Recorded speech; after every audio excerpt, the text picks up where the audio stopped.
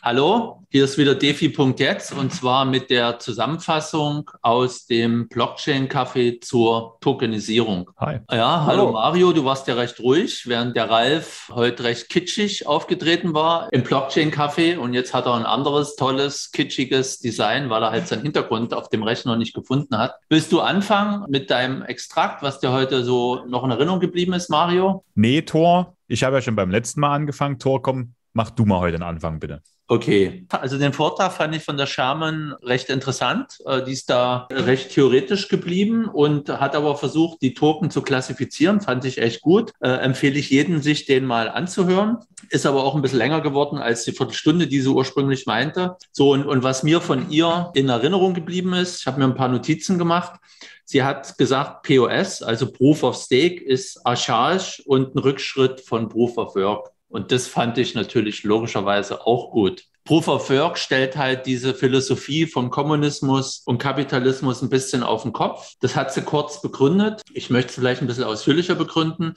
Und zwar tut man ja mit kapitalistischen Anreizen, also ein Individuum wird incentiviert, also belohnt, wenn es was für die Gemeinschaft tut. Das ist ja so das, das Proof of Work Mining generell. Sie meinte, DeFi ist Kapitalismus über Steroide. Im Schlussbereich gab es da ein paar interessante Sachen mit Governance, gab, kam mal eine Frage auf. Sie meinte, dass maschinelle und humane Governance Kombination wirken sollten und die humane, die, die menschliche Governance die Rückschleife ist, das äh, Feedback, die Feedback Loop und diese maschinelle äh, sukzessive halt verbessert. Und das wäre halt sinnvoll natürlich auch bei einer DAO, weil man da natürlich versucht, Code zu schreiben, der sukzessive aber immer verbessert werden muss, weil einfach bestimmte Sachen am Anfang nicht berücksichtigt werden konnten, bestimmte Ereignisse auftreten oder weil man vielleicht auch ein paar Denkfehler hatte. So, das waren jetzt so die Sachen, die mich so am meisten beeindruckt hatten, die ich interessant fand? Mario? Also mich hat vor allem beeindruckt die Audioqualität von der Sherman, dass die so viel besser war als vom Ralf, jedes Mal beim Podcast. Deine ist ja heute top, das finde ich gut, Tor. Allerdings hast du auch, also müssen wir da die mal, sie mal fragen und müssen wir mal für den Ralf zusammenlegen, dass er das gleiche Headset kriegt am besten. Und Aber so eine Spendenaktion auf. Aber oder eine Spendenaktion beim, beim Ralf so eine Kombi-Aktion machen, weil er das er dann auch immer die gleiche Rechentechnik hatte. Weil heute gab es wieder Probleme, dass ich nicht aufzeichnen konnte und jetzt den Stress habe, das Video bei YouTube runterzuladen, was ich aber nur eine geringe Auflösung runterladen kann, was mehrere Stunden dauert äh, und dann wieder das Zeug zusammenschnipseln. Armer Tor. Armer ja. Tor. Aber also, jetzt konkret zum Inhalt, Mario? Ja, zum Inhalt muss ich sagen, also hat es mich sehr euphorisch gemacht, was sie erstmal in ihrem Vortrag äh, erzählt hat.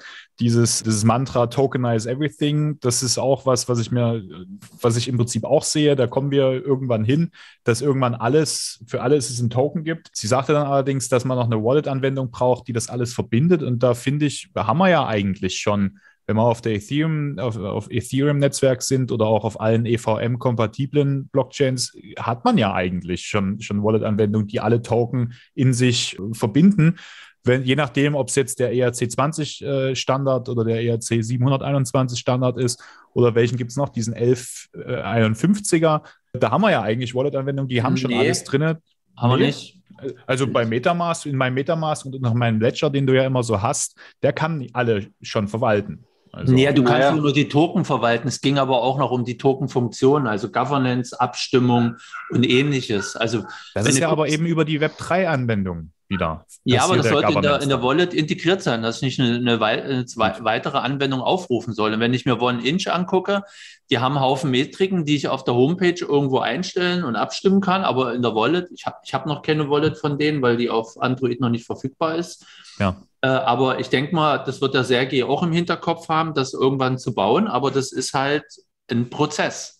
So, und das, das wird schwierig wahrscheinlich, aber wirklich ein langer Multi Prozess. Multipurpose Wallet oder irgendwie so hat sie den Begriff gebraucht, fand ich gut. Werde ich auch in mein Buch Dezentrales Geld in die dritte Auflage mit aufnehmen. Dann habe ich mir gemerkt, dass der Ralf wieder sein, sein lokales Geld wieder versucht hat zu placken mit der Schaufensterregion mit weiter. Dass es da dann aber vor allen Dingen darum geht, klein genug zu, das war ein interessanter Punkt, klein genug zu bleiben, um nicht in das Radar der BaFin zu kommen. Und ansonsten habe ich mir dann noch den, den Christoph gemerkt, dass er, also bei dem steckt halt auch einfach unendlich viel Wissen drin, dass er, dass er sagt, wir müssen Ethereum als offene Plattform für Innovationen nutzen und aufpassen, dass wir diese, diese Innovationen nicht aus der Hand geben und dass wir, dass wir alles am Ende für uns sozusagen als Community behalten und das uns nicht von den Regulatoren aus der, aus der Hand nehmen lassen. Dass er froh ist, dass es da so viele Programmierer gibt, die daran schon arbeiten, an sozusagen an der Freiheit unserer, unserer Dinge, an der sogenannten Permissionlessness. Äh, also sprich, das Beste sollte sich durchsetzen und äh, die Freiheit soll bestehen bleiben. Das fand ich noch, ein, noch einen guten Abschlusssatz, den er gebracht hat. Ansonsten kann ich wieder den Vortrag und auch den des, des Podiumspanel sehr empfehlen. Ja, stimme ich dir zu. Und Ralf, jetzt darfst du Abspann machen. Tja, Abspann, äh, ich meine, ich habe das Ganze organisiert, hatte mir dabei auch was gedacht. Das eine ist, äh, dass man dieses Buch hier auch wirklich mal jedem, jeder liest. Token Economy gibt es auch auf äh, von Chairman Fortune hier. Äh, gibt es auch auf Deutsch, lese ich auch gerade mal wieder. Was die Wallet-Anwendungen gibt, ja, ein Multipurpose-Wallet, also dass du deine Identitäten, dann deine Krypto-Anteile und dann auch ähm, äh, Ecosystem-Wallet nennen wir das. Wir entwickeln sowas, dass du dann Custody und Non-Custodian machen willst. Das größte Thema gesehen habe, ist das, äh, was Sherman und äh, auch per Dirk und vor allen Dingen Christoph sagten, hoffen wir, dass wir nicht äh, durch die Regulation alles Freiheit dessen, was da entsteht, im Web 3.0 entstehen könnte, dass alles verreguliert wird. Und hier sehe ich die alten Welten, die schlagen zurück. Das Imperium schlägt zurück an dieser Stelle. Und da sehe ich eine ganz große Gefahr, dass das wirklich äh, für ein Zwanzigstel der Menschheit schon unterdrückt ist. Äh, das ist China oder wird. Und äh, die USA stehen da vor unser Finanzministeriumsentwurf, ist ja auch so, Non-Custodial-Transaktionen soll es nicht geben, sondern nur zentrale oder kontrollierte dezentrale Exchanges, über die alles abläuft, dass auch alles, was über 10.000 ist, das hat man ja auch bei dem CDBC-Vortrag gesehen. Das macht mir die größte Sorge. Auf der anderen Seite äh, war das ja ein provoziertes Zusammenpaneln dieser Meinung und dieser Äußerung im Panel. Und das wollte ich erreichen. Äh, ich kann nur allen sagen, schaut euch das an und äh, arbeitet mit dran. Wir versuchen ja auch die Leute, die Menschen zu bilden. Und das ist auch ein ähm, Ergebnis, wo wir alle gesagt haben, wir müssen die Leute viel mehr die Allgemeinheit ausbilden. Ist eines der Elixiere, die mich vorantreiben, die Punkt jetzt auch das Blockchain Meetup zu machen. In diesem Sinne zwei Anmerkungen. Erstens, EU-weit ist ja ein europaweites Vermögensregister äh, im Aufbau, wo natürlich auch Kryptovermögen mit reinkommen, Immobilien, Aktien, Wertpapierdepots, Gold und, und andere Wertgegenstände. Und das ist ja nicht grundlos. Und das Zweite ist, damit wir unserem Bildungsauftrag, den wir uns selber gegeben haben, auch gerecht werden können, verbreitet dieses Video oder diesen Podcast weiter an Freunde und Bekannte, wo ihr denkt, dass die vielleicht auch mal ein paar neue Blickpunkte und Sichtweisen nahegebracht werden bekommen sollten. Also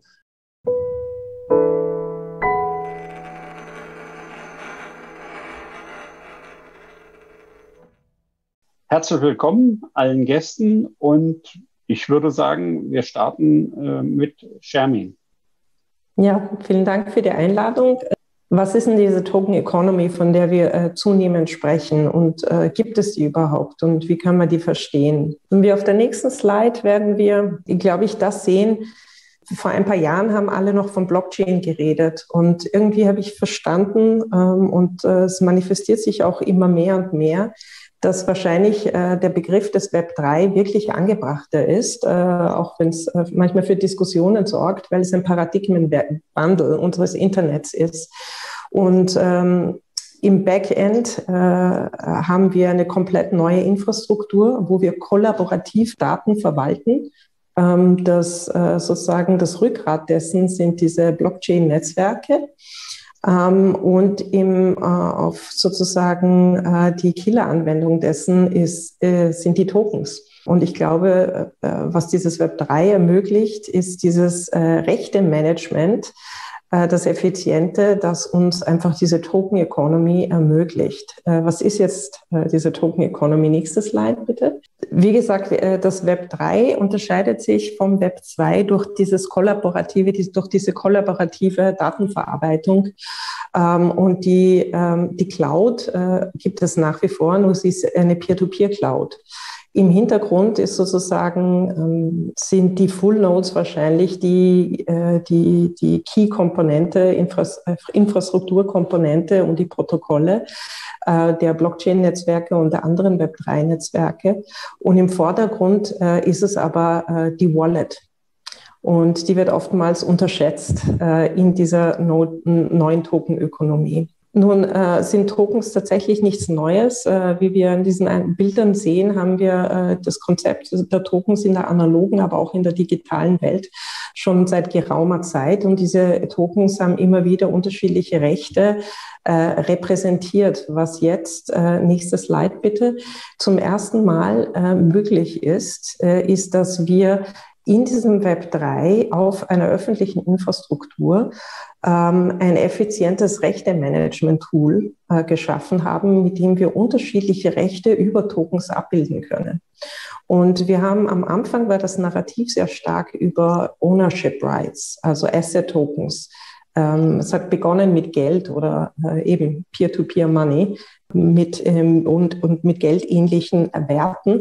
Aber wir sehen immer mehr, dass eigentlich der äh, sozusagen ähm, die Macht dieser Tokenökonomie die ist, dass ein Token sich vom anderen unterscheiden kann und ich äh, sozusagen über äh, Tokenmanagement äh, nicht nur das, äh, das äh, Besitzrecht, sondern auch Managementrechte, Zugangsrechte, aber auch Voting Rights vergeben kann. Und dafür brauche ich nicht notwendigerweise unterschiedliche Tokens, sondern das kann ich über ein Token abbilden. Und hier verschwimmen, ähm, das werden wir uns dann bald äh, nachher noch genauer anschauen, möglicherweise Konzepte werden in der Zukunft verschwimmen von Dingen, die wir heute klar trennen.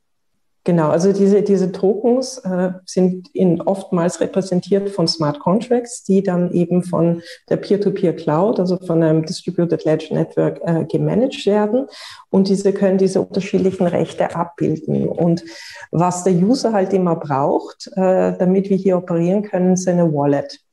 Und das ist halt deswegen auch diese, diese wichtige Komponente. Auch da kommen wir jetzt dann nochmal drauf zu. Nächstes Slide. In der heutigen Welt unterscheiden wir diese unterschiedlichen Rechte im Management. Also heute haben wir Schlüssel für Zugangsrechte und dann haben wir eine Geldtasche, wo wir im, im Portemonnaie, wo wir vielleicht das Bargeld, äh, das wir äh, in gewissen Ländern noch tatsächlich verwenden, äh, verwahren und unterschiedliche Identifikationskarten. Aber in der in der, in der Digitalisierung äh, sind diese Konzepte bereits verschwommen und äh, im Web 3, also in diesem nächsten Schritt der Digitalisierung, ver, verschwimmen diese Konzepte von Key, ID, Money und Investment umso mehr.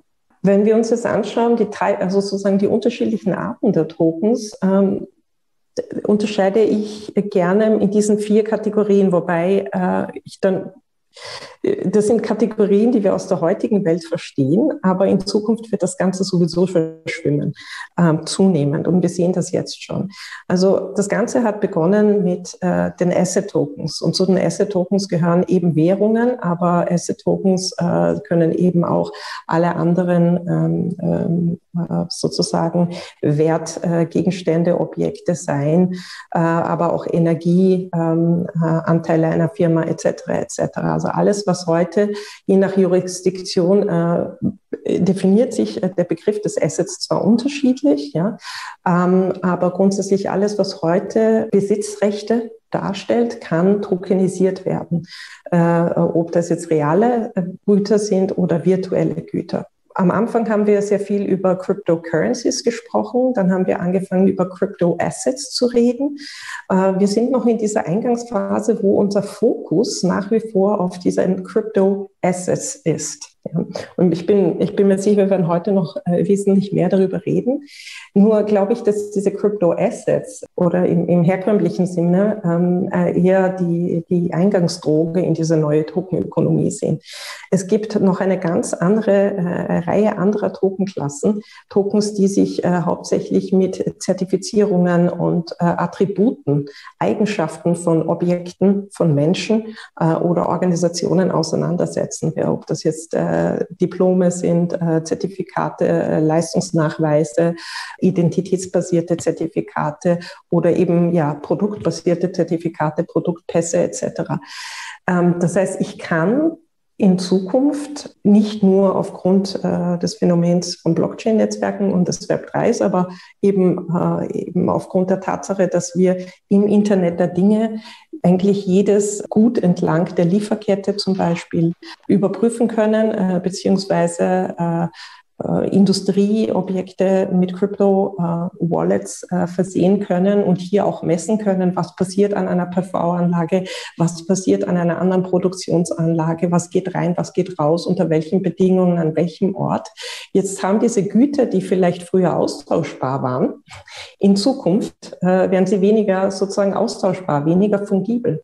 Zum Beispiel eine Kilowattstunde Strom. Ja. Strom, Kilowattstunde Strom ist Kilowattstunde Strom, würden wir heute sagen. Manchmal äh, kommt das Strom mit einem Maschel, wie wir in Wien sagen.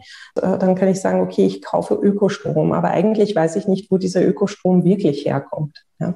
Ich weiß, dass äh, was mein Energieprovider ein gewisses Kontingent an Ökostrom hat und das bezahle ich dann. Äh, aber ich weiß nicht wirklich, woher es kommt. Kommt es aus der Nachbarschaft oder nicht? In Zukunft, wenn wir äh, alle Industrieobjekte auch mit Wallets, Blockchain-Wallets versehen und hier eindeutige sozusagen Identitäten geben und anfangen zu messen, was an diesen Produktionsanlagen passiert, können wir plötzlich viel detailliertere Produkte anbieten es reale Objekte sind, reale Güter, äh, ob es landwirtschaftliche Produkte sind oder ob es Strom ist. Ja. Eine andere Klasse von Tokens, äh, und auch das ist fluide, sind äh, Tokens, die mir äh, sozusagen Zugang ermöglichen alles, was heutzutage ein Mobilitätsticket ist, äh, ob das ein Flugticket ist oder ein Zugticket, ob das jetzt eine Membership, ein Zugang ist äh, zu digitalen äh, Gütern wie, wie Medien oder, oder eben auch äh, in irgendeinem Fitnessclub oder in der Sharing Economy, äh, das sind Sachen, die ich auch über Tokens managen kann.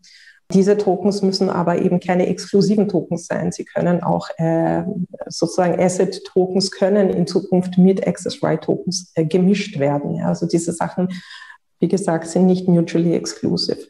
Und ich glaube, äh, die, die vierte Klasse von Tokens ist meiner Meinung nach die interessanteste, die Incentive-Tokens. Ähm, nämlich Tokens, die designt sind, ähm, dahingehend designt sind, dass sie eine Gruppe von Leuten incentivieren, äh, ein kollektives Gut oder eine kollektive Infrastruktur zur Verfügung zu stellen oder ein kollektives Ziel zu erreichen. Und insofern ist zum Beispiel Bitcoin ein sehr, sehr gutes Beispiel dafür, dass es sowohl ein Asset-Token ist als auch ein Incentive-Token vielleicht weniger ein Credential- und Attribute-Token, weil es ein sehr einfaches Tokensystem ist. Aber es ist äh, nicht nur ein Asset, es ist nicht nur eine Währung, sondern es ist vor allem ein Incentive-Token, nämlich äh, das äh, Bitcoin sozusagen die Governance-Regeln äh, des Bitcoin Netzwerks wurden so gestrickt, dass es äh, sozusagen das Ziel des Netzwerks ist, eine kollektive ähm, Payment-Infrastruktur zu haben und äh, um dieses Ziel zu erreichen, äh, belohnt man die Netzwerkteilnehmer mit, äh, mit dem Netzwerkgeld. Ja? Und das kann ich jetzt aber nicht nur für Peer-to-Peer-Money machen oder Peer-to-Peer-Zahlungssysteme, das kann ich auch für äh, Social-Media-Netzwerke machen, für äh, CO2-Emissionsreduktion etc. Also überall dort, wo wir sagen, wir haben ein kollektives Ziel, kann ich sagen, okay, wie können, kann ich das Individuum incentivieren, dieses kollektive Ziel zu erreichen? Und dann ist die Frage, wie messe ich, was das Individuum macht und wie generiere ich ein, ein, ein System, das angriffsresistent dieses Ziel erreicht. Und das ist bei Collective Computation etwas anderes als bei Collective, ähm, was heißt CO2 Emission Reduction. Da müssen die Systeme unterschiedlich gestrickt werden und dann ist das sogenannte Token Engineering. Das heißt, wie tue ich aus äh, ökosozialer und technischer Sicht dieses Tokensystem kreieren? Diese Fragen werden dann unterschiedlich beantwortet.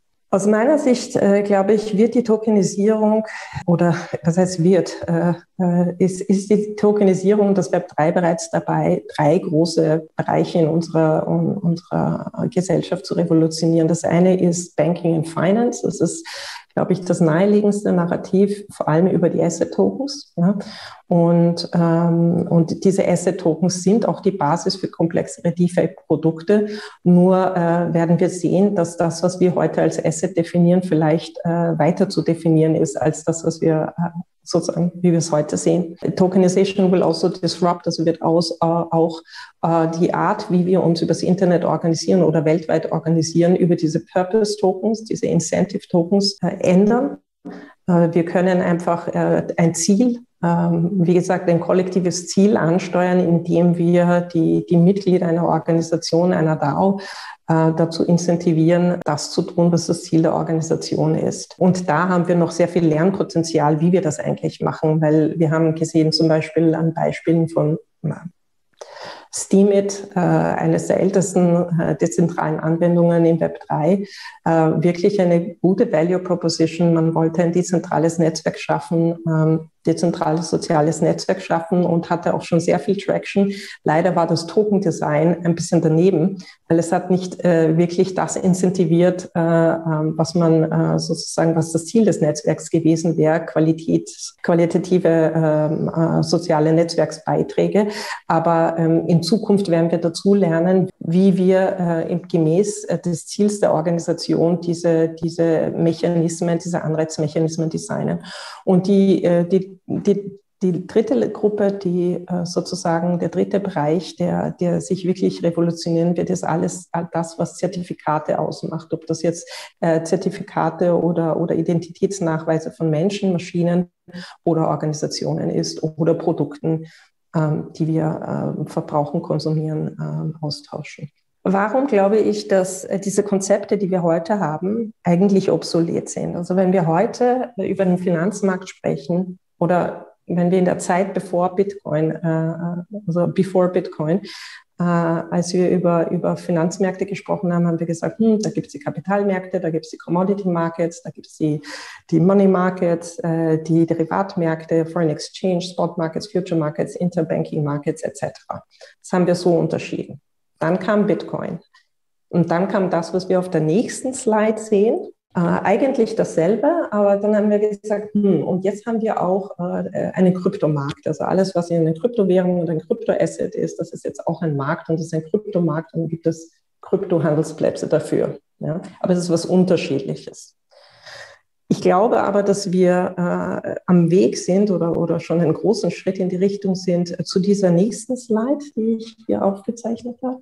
Ach so, äh, hier ist noch eine Slide, die hatte ich vergessen. Ja, Jetzt, jetzt äh, während äh, das Web 3 mehr an Bedeutung gewonnen hat und Krypto, ist noch etwas anderes passiert. Wir haben gesehen, äh, Daten haben in der Welt einen Wert. Im Web 1 und im Web 2 vor allem äh, ist sozusagen Big Data etwas geworden und Daten haben einen Wert bekommen. Nun können wir diese Daten aber auch tokenisieren. Dann haben wir gesagt, okay, es gibt Datenmarkets, die können wir, diese Daten, mit denen können wir handeln und diese Daten können wir eventuell sogar tokenisieren das, wohin die Reise aber geht, ist, dass eigentlich alles ein Kryptomarkt ist, weil ich heute bereits technisch, theoretisch die Möglichkeit habe, alle, jegliche Form von Wertschöpfung über Tokenisierung darzustellen. Die Frage ist, theoretisch geht es, äh, oftmals äh, ist es allerdings nicht sozusagen nur eine technische Herausforderung, sondern auch eine sozioökonomische, mentale sozusagen Anpassungsarbeit, die wir kollektiv zu leisten haben.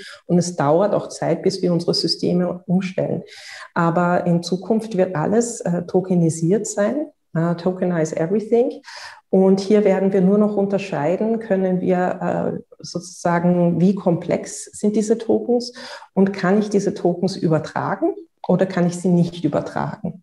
Und dort, wo ich sie nicht übertragen kann, wo die Tokens an meine Identität gebunden sind, ähm, sind sie eher äh, Zugangsrechte oder Credential-Tokens äh, oder Access-Right-Tokens. Aber äh, sie haben keine Geld- oder Finanzprodukt- oder, oder Realprodukt-ähnlichen Eigenschaften. Ja, also das ist alles, was so Credential Access Right und Incentive Reputation Tokens ist, ist eher außerhalb eines Marktes, wobei auch hier die Grenze fluide ist und äh, oftmals nicht nur ein Entweder-Oder ist. Ja, ich kann limitierte Transferierbarkeit haben. Aber letztendlich werden wir äh, alles tokenisieren und alles wird ein Kryptomarkt. Die Sache ist halt die, dass äh, heute wir wirklich unterscheiden zwischen ähm, Geld, ja, äh, sozusagen, was ist, also wir haben hier Geld, das ist, äh, da gibt es die Geldwirtschaft und dann gibt es die Finanzwirtschaft und dann gibt es die Realwirtschaft. In dem Augenblick, wo wir aber alles tokenisieren, was ist dann Geld? Ja, wenn ich äh, sozusagen jede Immobilie tokenisieren kann und jeden Anteil einer Tokenisier Immobilie tokenisieren kann, unter gewissen Bedingungen transferieren kann, wenn ich eine Kilowattstunde tokenisieren kann und die in meinem Wallet habe und in dieser Wallet einfach transferieren kann, es wird dann nicht alles wie Geld. Wenn ein Algorithmus dann äh, sozusagen bestimmen kann, was ist mein, so meine Verrechnungseinheit in meinem Kopf sind, vielleicht meine Kilowatt-Tokens oder meine Apfel-Tokens oder meine Euro-Tokens. Aber letztendlich habe ich ganz, ganz viele äh, Tokens in der Wallet äh, die unterschiedliche transferierbare Güter äh, repräsentieren. Und statt dass ich jetzt wirklich äh, irgendwie ein standardisiertes Geldsystem brauche, entscheide ich mich für meine Verrechnungswährung und den Rest macht der Algorithmus und, ähm, und über Systeme wie Atomic Swaps oder andere ähm, Wallet-to-Wallet-Exchange-Systeme kann ich nun äh, meine, meine, meine, meine Rechte Management durchführen ähm, und äh, sozusagen meine, meine Zugangsrechte, die vielleicht auch an Besitzrechte gebunden sind, ähm, äh, äh, ausüben.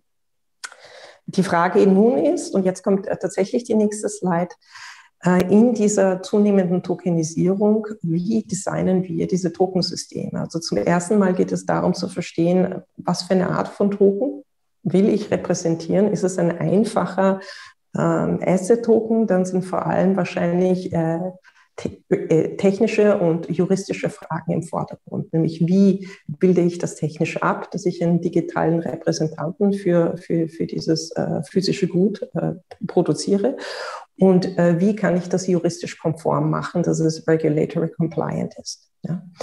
Bei einem äh, Incentive-Token, der ein komplexes Netzwerk steuert, wie, äh, wie Bitcoin, muss ich auch ökonomische äh, Überlegungen, und zwar nicht äh, Business, äh, sondern tatsächlich äh, Ökonomie, Mikroökonomie, Makroökonomie, Netzwerkökonomie, ja, Complex System Science.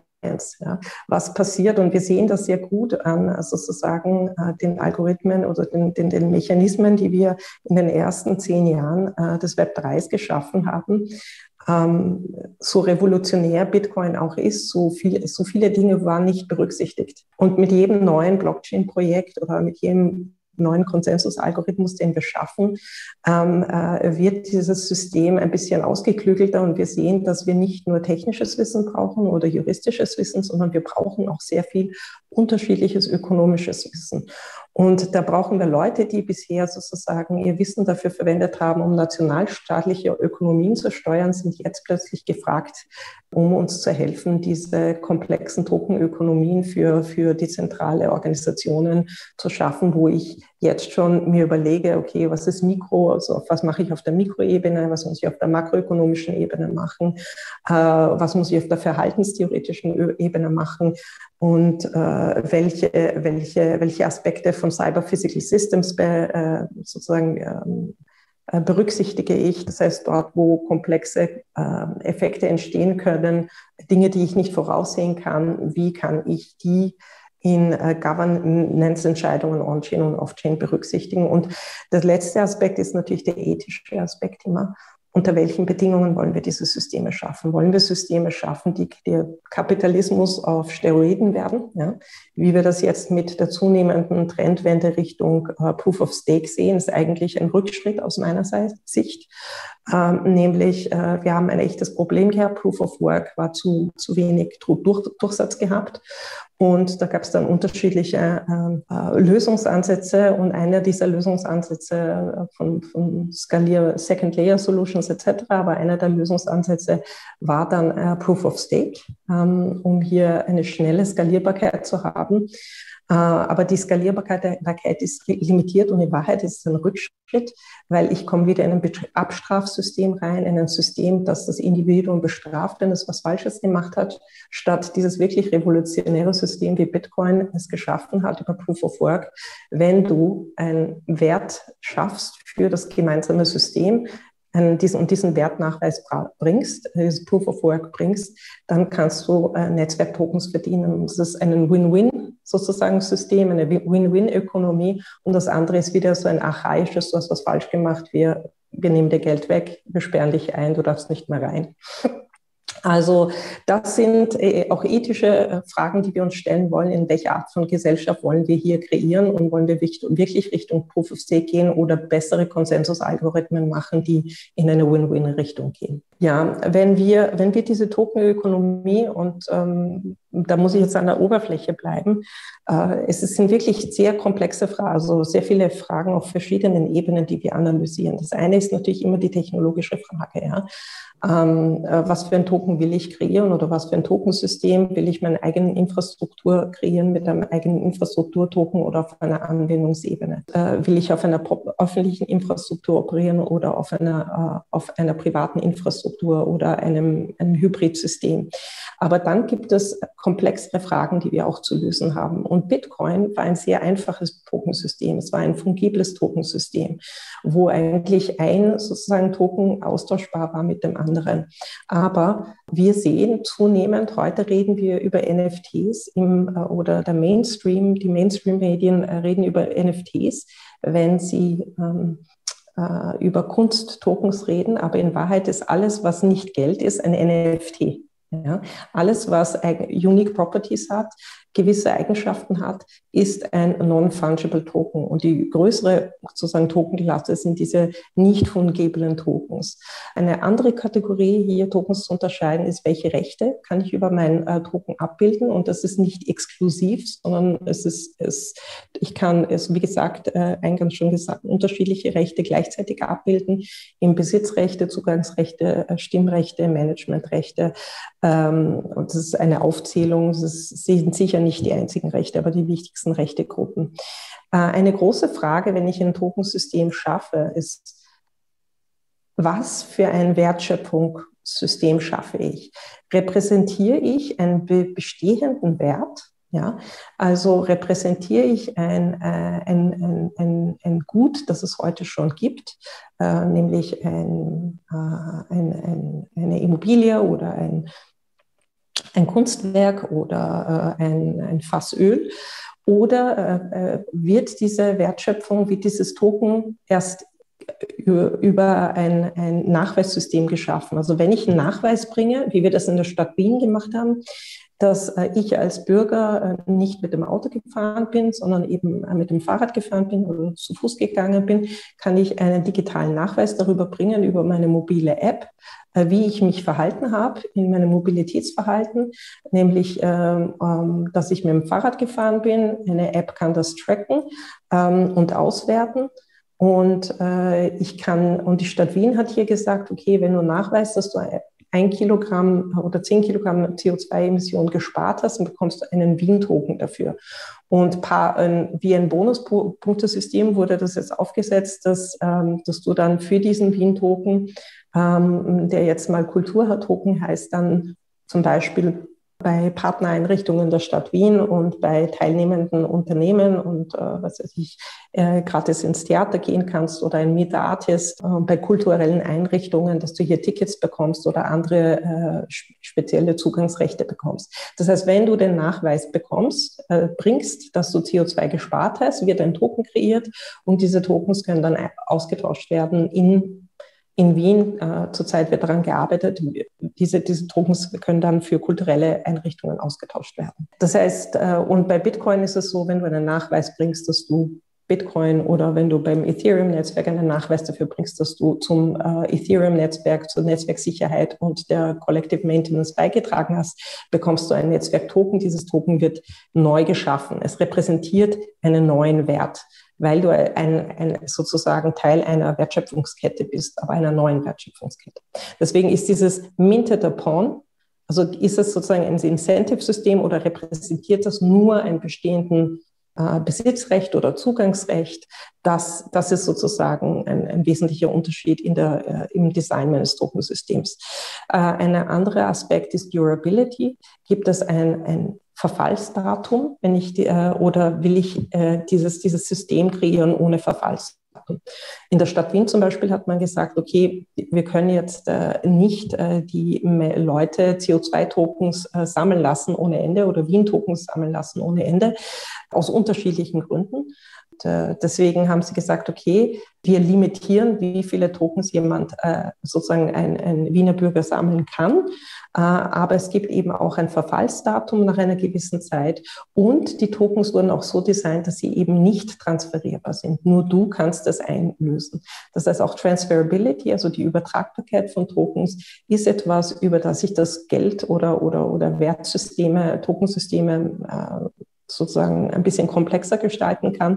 Tokens müssen nicht notwendigerweise unlimitiert übertragbar sein, wie es im Bitcoin oder, oder Ethereum-System der Fall ist. Ich könnte auch sagen, ich, man hätte auch zum Beispiel Ethereum insofern schaffen können, dass man sagt, okay, du bekommst die Ethereum-Tokens, aber es ist wie Schwundgeld. Nach einiger Zeit laufen die Tokens ab.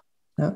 Man hat es nicht gemacht, aber man könnte es machen. Und man kann sich für zukünftige Systeme überlegen, dass man so etwas macht. Also will ich vielleicht die, die Übertragbarkeit aus welchem Grund auch immer, aus ethischen Gründen, aus rechtlichen Gründen oder aus, aus ökonomischen Gründen limitieren äh, oder eben äh, eine, eine, eine, eine, zumindest eine Konditionierung hier einführen. Also nur unter gewissen Bedingungen oder unter, in einem gewissen Zeitraum ist es übertragbar.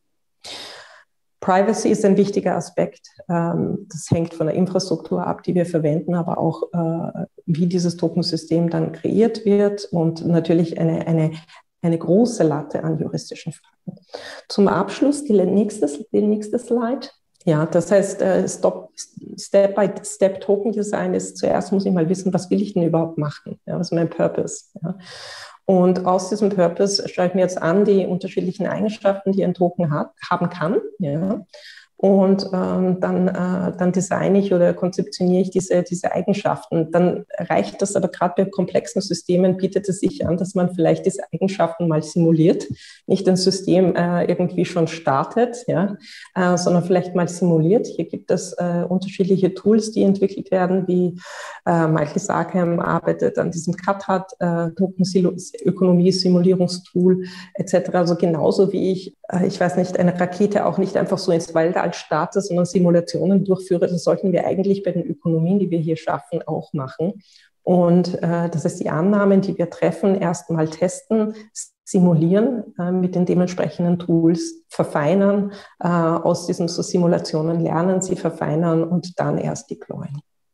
Ich glaube, die größte Erkenntnis in diesem letzten Jahr, die ich hatte, ist, Fungibilität ist ein fluides Konzept. Ja. Innen, wenn wir davon ausgehen, dass alles tokenisiert wird und wenn wir davon ausgehen, langfristig, ja, und wir sind am Weg dahin, wenn wir davon ausgehen, dass äh, jedes, äh, ein, ein, Token, jede Art von Güter, Dienstleistungen oder, oder Incentives äh, äh repräsentieren kann und das noch dazu mit programmierten, unique, so einzigartigen Eigenschaften, die vielleicht auch an deine Person gebunden sind oder andere sozusagen Lokalitäten. Dann kann sozusagen jedes Token ein potenzielles NFT werden.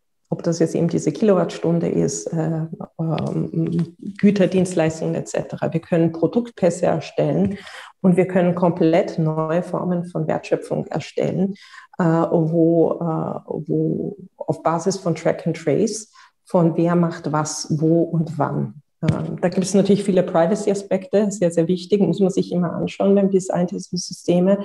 Aber letztendlich, glaube ich, können wir in eine Art zirkuläre Ökonomie kommen, äh, wo ähm, Fungibilität, wie gesagt, ein, ein, ein fluides äh, Konzept ist.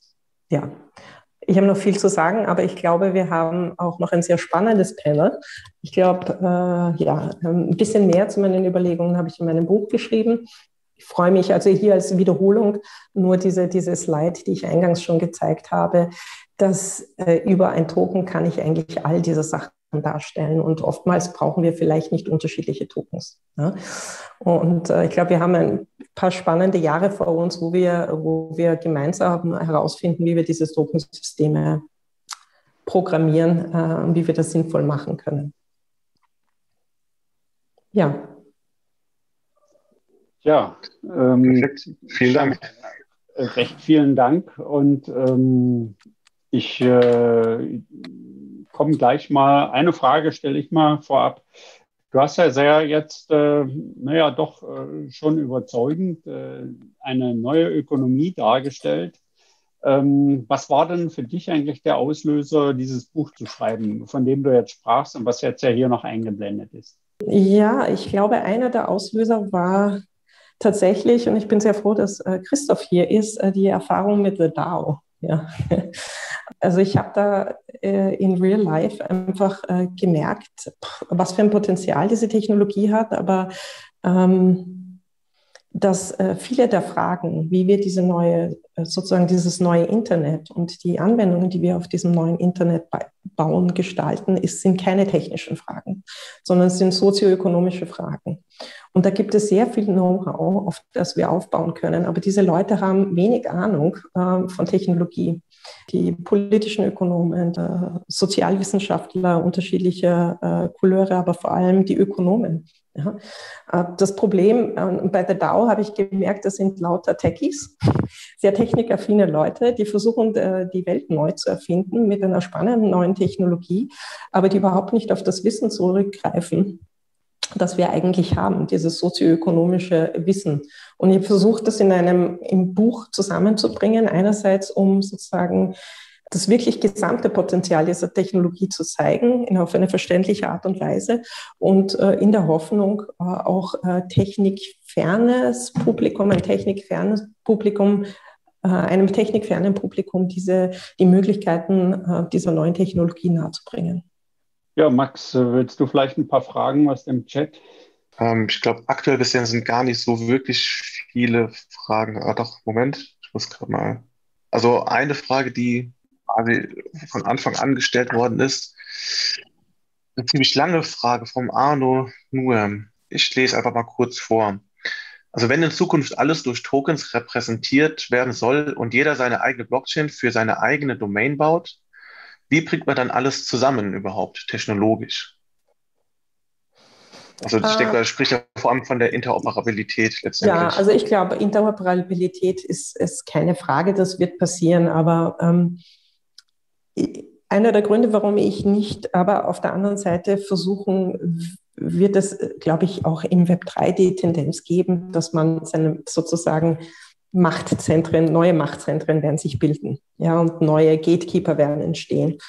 Äh, das müssen nicht äh, notwendigerweise äh, Blockchain-Netzwerke sein. Ja.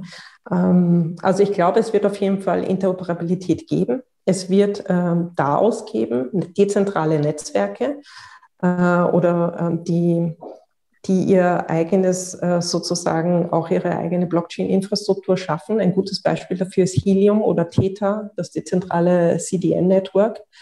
Ähm, Sie verwenden nicht eine öffentliche Infrastruktur wie Ethereum, Polygon oder ähm, I don't know, ähm, alle, alle anderen äh, Alternativen, sondern sie haben hier ihr eigenes Blockchain-System auch kreiert. Ja.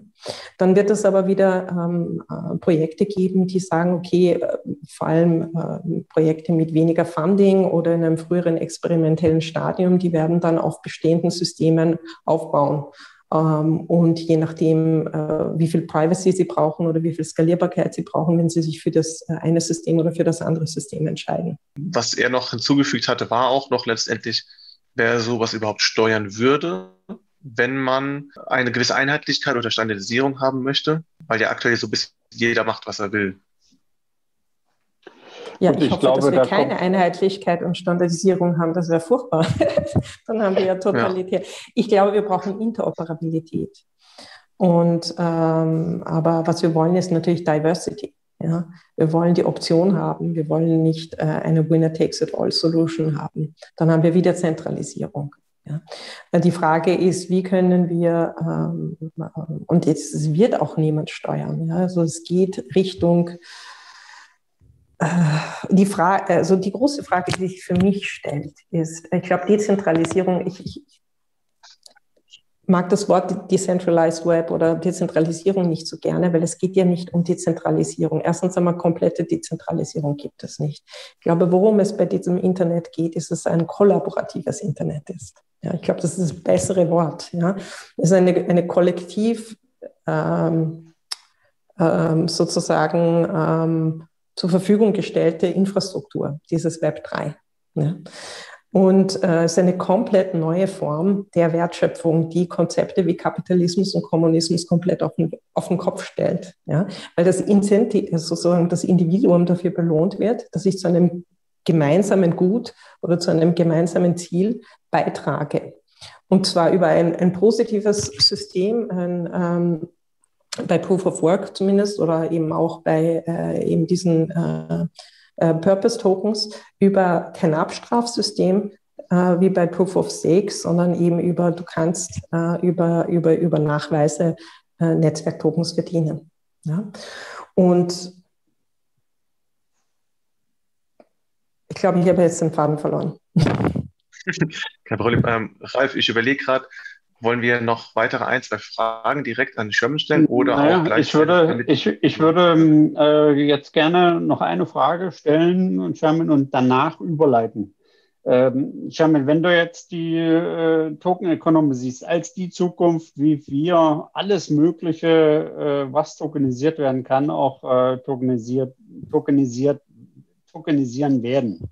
Wie lange könnte das dauern, würde das dauern und welche aus deiner Sicht äh, heutigen klassischen Finanzelemente, Finanzintermediäre äh, wird das ersetzen oder welche neuen wird es hervorbringen oder wie sieht diese ganze Tokenisierung äh, im Endergebnis aus? Leben wir dann in einer ganz anderen Gesellschaft oder wie ist da die Voraussage also, deiner Seite? Das ist die das ist natürlich die, wenn ich die Antwort dazu hätte, wäre ich jetzt schon ein sehr reicher Mensch oder wüsste ich jetzt, dass ich in Zukunft sehr reich bin. Denn ich, ich glaube, also ich glaube, dieser Tokenisierungsprozess, der wird jetzt in den nächsten drei bis fünf Jahren wird sehr, sehr viel passieren.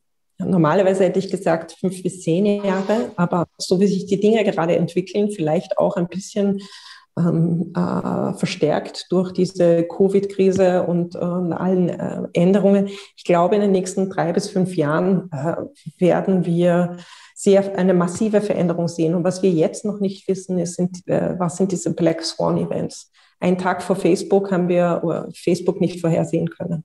Wobei wir natürlich äh, die Leute, die schon länger im Internet unterwegs waren, man kannte soziale Netzwerke, aber auch das Konzept eines Smartphones, das war äh, vielleicht äh, das, erst als das Smartphone da war, haben wir gesehen, was können wir damit machen.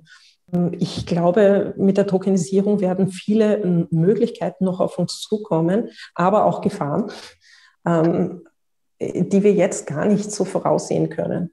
Und eine Gefahr, ich habe es irgendwo in den Fragen gesehen, irgendwer hat das äh, mit so einem Social Credit System. Also wir müssen zum Beispiel aufpassen, dass wir nicht Richtung Social Credit System kommen. Ja. Äh, es hat aber weniger nur mit der Tokenisierung zu tun, sondern überhaupt in der digitalisierten Welt, wo man alles aufzeichnen kann, äh, muss man halt auch auf, aufpassen, wie wir mit dieser Frage zwischen ähm, kollektiven sozusagen, was ist fürs Kollektiv gut und wo schützen wir das Individuum, das ist eine ethische Frage. Ähm, das ist, äh, es werden sehr spannende Jahre, die nächsten drei bis fünf Jahre werden sehr spannend und, und richtungsweisend, ob wir Kapitalismus auf Steroiden kreieren, wie das jetzt so ein bisschen sich abzeichnet im DeFi-Bereich, oder ob wir wirklich diese Möglichkeiten der Tokenökonomie verwenden, um einfach äh, zum Beispiel Green DeFi zu schaffen, wo wir sagen, okay, du bringst Nachweis über CO2-Einsparungen und das kann ein Zertifikat werden und das können komplett neue Wertschöpfungsketten werden. Es kann in verschiedene Richtungen gehen. Ja. ich würde dann äh, vorschlagen, dass wir jetzt äh, in die Panel-Diskussion übergehen. Und äh, wir haben zu der Panel-Diskussion weitere Gäste eingeladen.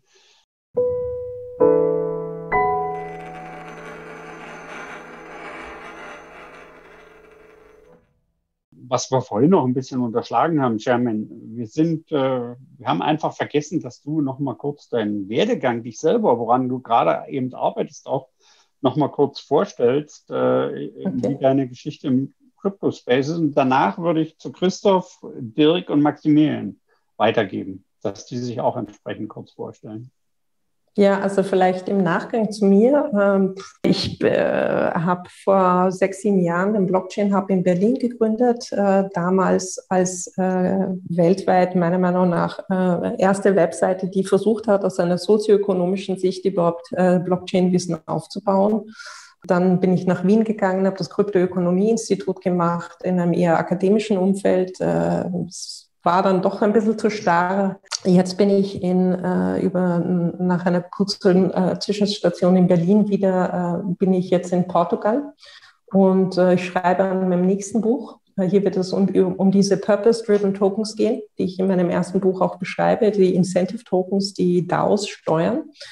Aber danach bin ich auch gerade dabei, äh, ähm, ein, ein Stück Land zu erwerben, wo wir eine regenerative Landwirtschaft aufbauen und hier eine Art Landwirtschaft 3.0 machen, wo wir äh, sozusagen digitale Nachweise, wo wir anfangen zu messen, was machen wir, welche Art von Landwirtschaft, was passiert hier und mit diesen Daten digitale Nachweise darüber zu bringen, wie viel CO2-Emissionsreduktion hat diese Form der Landwirtschaft gebracht, wie viel Wasserbindung gibt es und da kann ich, das kann ich tokenisieren das kann ich, ähm, das kann zusätzliche ähm, sozusagen auch Einnahmensquellen in einer äh, zukünftigen nachhaltigen Landwirtschaft sein. Also eine datengetriebene Landwirtschaft, äh, das Hub, äh, das bauen wir hier gerade in Portugal auf. Christoph, herzlich willkommen. vielleicht stellst du dir auch noch mal kurz vor. Und ja, du wurdest ja schon erwähnt von Chairman im, im Kontext der DAO. Richtig. Ja, vielleicht kurz zu mir. Ich wenn man mit Blockchain anfängt, ich habe 2013 bin ich darauf gestoßen, ich war gerade dabei, meinen Doktor zu machen in theoretische Physik in Dresden.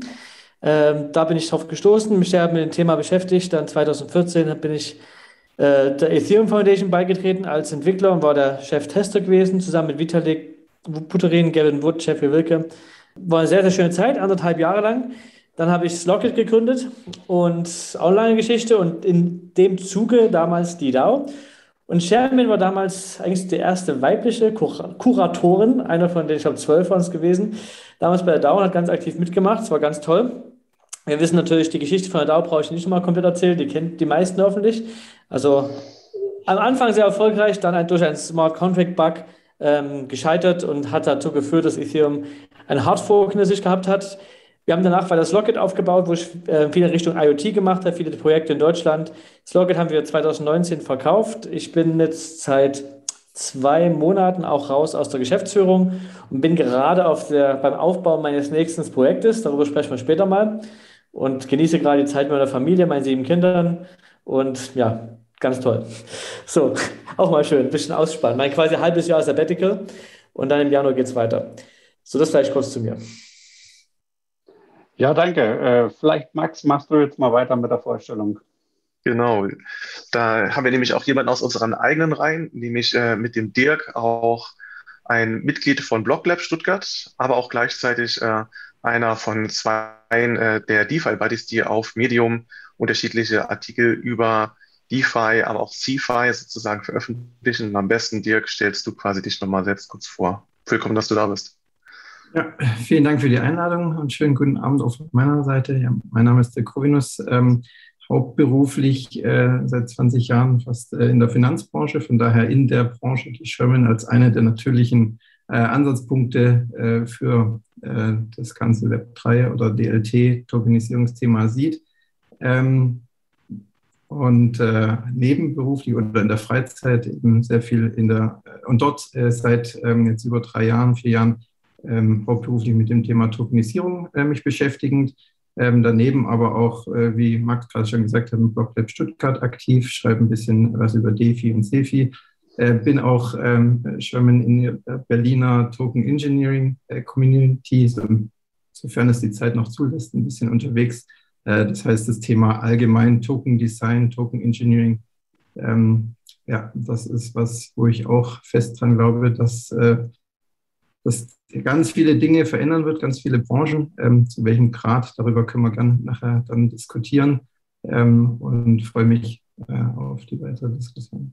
Ja, und äh, wir haben auch jemanden eingeladen, äh, Maximilian Brock, ne, Executive Director der ITSA, wo es äh, ja, äh, darum auch um die äh, Klassifizierung von Token, Token, vielleicht auch Token Economy geht.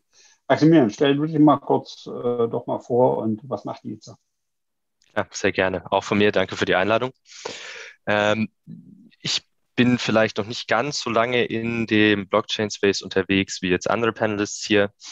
Ich würde sagen, ich habe Mitte letzten Jahres wirklich meinen Weg äh, dazu gefunden, ähm, habe an der Frankfurt School studiert und meine Thesis geschrieben unter der Aufsicht vom ähm, Professor Dr. Sandner dort und bin seit Januar eben bei der International Token Standardization Association und äh, jetzt auch beim Frankfurt School Blockchain Center aktiv.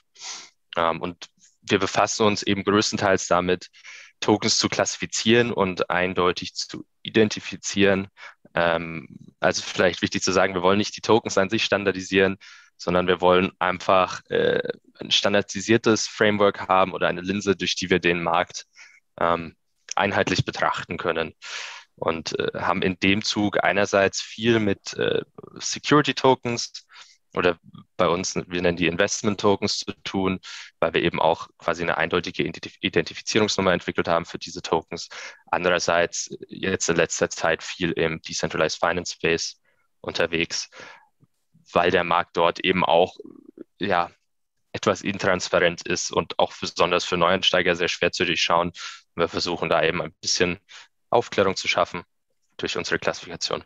Gut, dann will ich vielleicht mal äh, mit einem Danke, Maximilian auch, und für die Vorstellungsrunde, dann will ich vielleicht mal mit einer ersten Fragerunde oder einer ersten Problemstellung beginnen. Jamin, du hattest vorhin gesagt, naja, äh, Proof of Work ist nicht so das Ideale aus äh, ähm, Proof of Stake. Äh, vielleicht auch nicht so das Ideale, weil diejenigen ja die meisten Anteile haben, also die, die schon viel haben, die können wieder mehr entscheiden, kriegen mehr Gewalt. Äh, was wäre denn, wenn man jetzt ähm, das mal betrachtet, aus deiner Sicht die beste Governance? Wir haben ja auch die DAO-Geschichte, ja. Governance über ja. DAOs oder äh, wie, wie, wie könnte äh, eine äh, äh, gerechte Governance der Zukunft aussehen? Okay, also du hast jetzt zwei Sachen gefragt, die beste und die gerechteste. Das sind zwei unterschiedliche Fragen. Also die beste gibt es nicht, äh, weil äh, sozusagen das Token-Design, wie ich es versucht habe in dem ähm, ähm, Vortrag ein bisschen anzusprechen, das Token-Design hängt wirklich vom Purpose des Netzwerks ab. Und äh, was das Beste für ein Peer-to-Peer-Payment-Netzwerk ist, ist nicht das Beste für ein Peer-to-Peer-Social-Netzwerk. Ja, das heißt, als erstes äh, ist die Frage, was ist das Ziel des Netzwerks? Dann muss ich mir die Frage stellen, was sind die Werte des Netzwerks? Und das ist eine menschliche Frage. Ja? Wollen wir ein kapitalistisches System kreieren? Wollen wir ein, ähm, ein sozialistisches oder ein, ein, ein, ein, System kreieren, wo es, äh, sozusagen langfristig auch ähm, ähm, Einkommensgerechtigkeit, sagen wir mal so, geben könnte? Ja? Und ähm, das ist eine Wertefrage. Und wenn man sich entscheidet, nein, wir wollen einen Kapitalismus auf Steroiden, ja, dann mache ich Bitcoin. Ja? Ähm, und, und obwohl Bitcoin super, super, äh, bin ein Riesenfan. Dieses Proof of Work war so ein Fast Forward in der Koordinationskultur über das Internet. Aber es hat sehr viele ökonomische Aspekte, verhaltensökonomische und ökonomische Aspekte einfach ausgelassen. Ja. Und da können wir zum Beispiel schauen, wie können wir ein besseres Proof of Work machen. Ja. Ich glaube, Proof of Stake ist ein Fehler. Das habe ich eh vorhin schon erklärt. Aber äh, wie gesagt, das Beste gibt es nicht, sondern das Beste hängt vom Purpose ab. Ja, was für ein System will ich kreieren? Das braucht einen anderen, unterschiedlichen Anreizmechanismus. Und dann sind die Leute, die das Ganze starten, äh, haben gewisse Wertvorstellungen. Ähm, und das Gute aber in der digitalen Welt ist, es ist kein Entweder-Oder. Ja? Äh, in der realen Welt bin ich entweder Staatsbürgerin von Österreich oder von Deutschland. Ja? Also ich muss mich entscheiden, wo ich lebe. In der digitalen Welt kann ich sagen, ich gehe da rein und wenn es mir nicht passt, dann gehe ich da wieder raus. Ja? Ähm, das heißt, äh, es, es, es wird ein äh, davon abhängen, was der Konsens in der Community ist, wie man, was das Beste hier auch ist. Ja. Nur ich glaube, wie gesagt, es gibt äh, wahrscheinlich ausgeklügeltere, ähm, äh, was mir sehr gut gefällt, äh, gefällt, ist das Beispiel vom Helium-Netzwerk, dieses äh, Peer-to-Peer-Telekommunikations-LoRaWAN-Netzwerk. Die haben äh, Proof of, ähm, die haben das jetzt wieder geändert. Ich muss mir äh, das neueste Up Update anschauen. Aber letztendlich bringst du ein Proof of Coverage. Ja, weil es ja das, das, Ziel des Netzwerks ist ein kollektiv äh, zur Verfügung gestelltes Telekommunikationsnetzwerk, also LoRa. Ähm, und äh, da, da, stellst du dein Device dann zu Hause auf und wenn du, äh, je besser sozusagen dein, äh, dein Device die Coverage des Netzwerks äh, abdecken kann, und da wurden gewisse Parameter definiert, die über die Jahre auch angepasst wurden, äh, desto mehr Netzwerktokens kannst du verdienen. Einerseits für sozusagen das den Datendurchsatz äh, und andererseits aber auch für, ähm, äh, für die Blockchain-Tätigkeiten, die diese, ähm, die, diese Hardware-Devices auch ähm, abwickeln. Und, und nur haben sie kein Proof of Work, da, da, wird keine künstliche Leistung, äh, künstliche mathematische Leistung sozusagen muss erbracht werden, sondern du bringst eine, eine netzwerknotwendige äh, Nachweis. Und ich glaube, das ist die smartere Art und Weise. Ja. Nur dieser, dieser, dieser Netzwerknachweis ist auch ein Produkt des Netzwerkziels. Und das Ziel hier ist uh, Proof of Coverage für ein LoRa-Netzwerk. Darf ich hier mal kurz ja. einhaken? Ähm, ganz spannendes Thema und ich fand auch den Vortrag Schemen, 99 Prozent kann ich dir komplett zustimmen, außer bei der Einfrage Proof of Stake. Hier müssen wir ganz kurz okay. andere Meinung. Ich bin großer Fan von dem Proof of Stake und ich glaube, es gibt eine Sache, die wir hier mit berücksichtigen müssen, die eben doch dann wieder technisch ist. Wenn man Konsensusalgorithmen betrachtet, wie du schon sagst, was ist das Ziel? Wir jetzt am Beispiel von Ethereum bleiben, weil es eine sehr allgemeine Blockchain ist, wo man alle möglichen dezentralen Applikationen drauf laufen lassen kann, ist es auf jeden Fall Stabilität zu schaffen ohne einen ganz konkreten Purpose. Ich würde sogar nicht mal sagen, das geht um den Ether selbst als Payment. Das ist auch nur ein kleiner Nebeneffekt, der auch wichtig ist, sondern ganz allgemeine Infrastruktur. Es geht nur darum, stabilen Konsensus zu schaffen. Und ja, ich habe mich damals tatsächlich 2015, 16 sehr viel mit Konsensusmechanismen beschäftigt. Und da gab es auch Proof of Disk Space, wo es darum ging, Festplattenspeicher, weil es gab dann auch Richtung Filecoin, IPF und Swarm damals, war eine Überlegung, Swarm braucht man viel Daten und können wir nicht das nutzen. Das sind alles nette Ideen und auch viele Sachen auch sehr, sehr gut, aber technisch extrem schwierig, weil ähm, es muss nun mal was ganz, ganz Einfaches sein, was man nicht leicht vortäuschen kann, dass, dass man es hat. Und bei all diesen Systemen letztendlich gab es immer wieder Probleme zu sagen, kann ich vortäuschen, mehr Speicher zu haben, als ich wirklich habe? Ist das wirklich sicher? Und, und Proof of Work von Bitcoin war einfach so schön einfach. Das ist auch der Hauptgrund, warum es erfolgreich ist. Einfach nur ein Hash bauen und das kann man nicht einfach faken man braucht mehr Leistung. Ja, man kann bessere GPUs waren es am Anfang, dann FPGAs, dann waren es ASICs. Man kann einfach dort mehr Performance rausholen, aber es war einfach nicht zu faken. Und deshalb hat Ethereum auch mit Proof of Work angefangen, obwohl wir alle wussten, es ist fürs Klima schädlich und es muss besser gehen. Und die ganzen anderen Varianten, so gut und schlecht alles sind, waren technisch nicht sicher umsetzbar. Es gab immer Lücken. Und Proof of Stake gab es auch Schwierigkeiten, aber es war das Erste, was wir machen konnten, was ein Schritt besser war. Und du hast vor uns genannt, ja, wir bestrafen auch. Doch ich muss sagen, es geht ja, wir bestrafen diejenigen, die das Netzwerk aktiv schaden wollen. Es geht ja darum, jemanden zu bestrafen, weil er versucht, das Netzwerk zu forken, also dass wir den Konsensus, unser wichtigstes Gut, verlieren. Zu sagen, es gibt zwei Chains. Und es geht ja nicht primär darum, dass wir normale, ich sag mal, die das System unterstützen wollen, irgendwo ständig bestrafen wollen. Die meisten werden ja belohnt. Es gibt ja auch ähm, Tokens, die ausgegeben werden. Es ist 99 Prozent Belohnung und ein Prozent sehr, sehr effektive Bestrafung, jemand, der aktiv das Netzwerk schaden will. Wenn ich bei Bitcoin zum Beispiel einen Fork versuche zu erstellen mit einer 51 Prozent Attacke, dann habe ich danach immer noch meine Kraft, meine, meine ASICs, die ich dafür brauchte. Ich habe alles immer noch und ich kann es theoretisch immer wieder probieren. Wenn ich dasselbe bei einer Proof-of-Stake-Chain mache, bei Ethereum, verliere ich meinen ganzen Stake und ich kann es nicht nochmal probieren, wenn ich es versuche. Selbst wenn ich erfolgreich war und die Community aber der Meinung ist, die andere Chain zu benutzen, weil sie einfach da einen Konsens gefunden haben, könnte sie mich da trotzdem raus bestrafen, indem ich in ihrer neuen Chain eben keine Tokens oder Ether oder so weiter habe. Also ich finde den Werkzeugkasten zu erweitern von Belohn auch zu bestrafen. Ich meine, ich bin selber Vater von sieben Kindern. Ich versuche ein guter Vater zu sein, der 99 Prozent mit Belohnen arbeitet. Belohnen ist viel besser als bestrafen. Aber es gibt ein paar Situationen, wo manchmal auch ganz vorsichtig natürlich auch eine Bestrafung doch sein muss, um die physische Sicherheit der Kinder untereinander zu wahren. Da muss man die manchmal doch trennen, den einen von der anderen ist halt so. Und es ist trotzdem, dass das zu den Werkzeugkasten dazugehört, ist insgesamt gesehen ein Gewinn. Proof of Stake finde ich viel besser, gerade klimaneutraler als Proof of Work. Der Grund, warum wir auch nicht damit angefangen haben, sind zwei. Einmal, wir waren damals technisch noch nicht so weit und dass wir das Spiel theoretisch komplett durchdacht hatten. Das zweite war, dass der, was der Kritik ja oft ist bei Proof of Stake, dass ja auch einer mit viel Geld, das ist eigentlich eine Plutokratie und äh, man kann das schnell zentralisieren.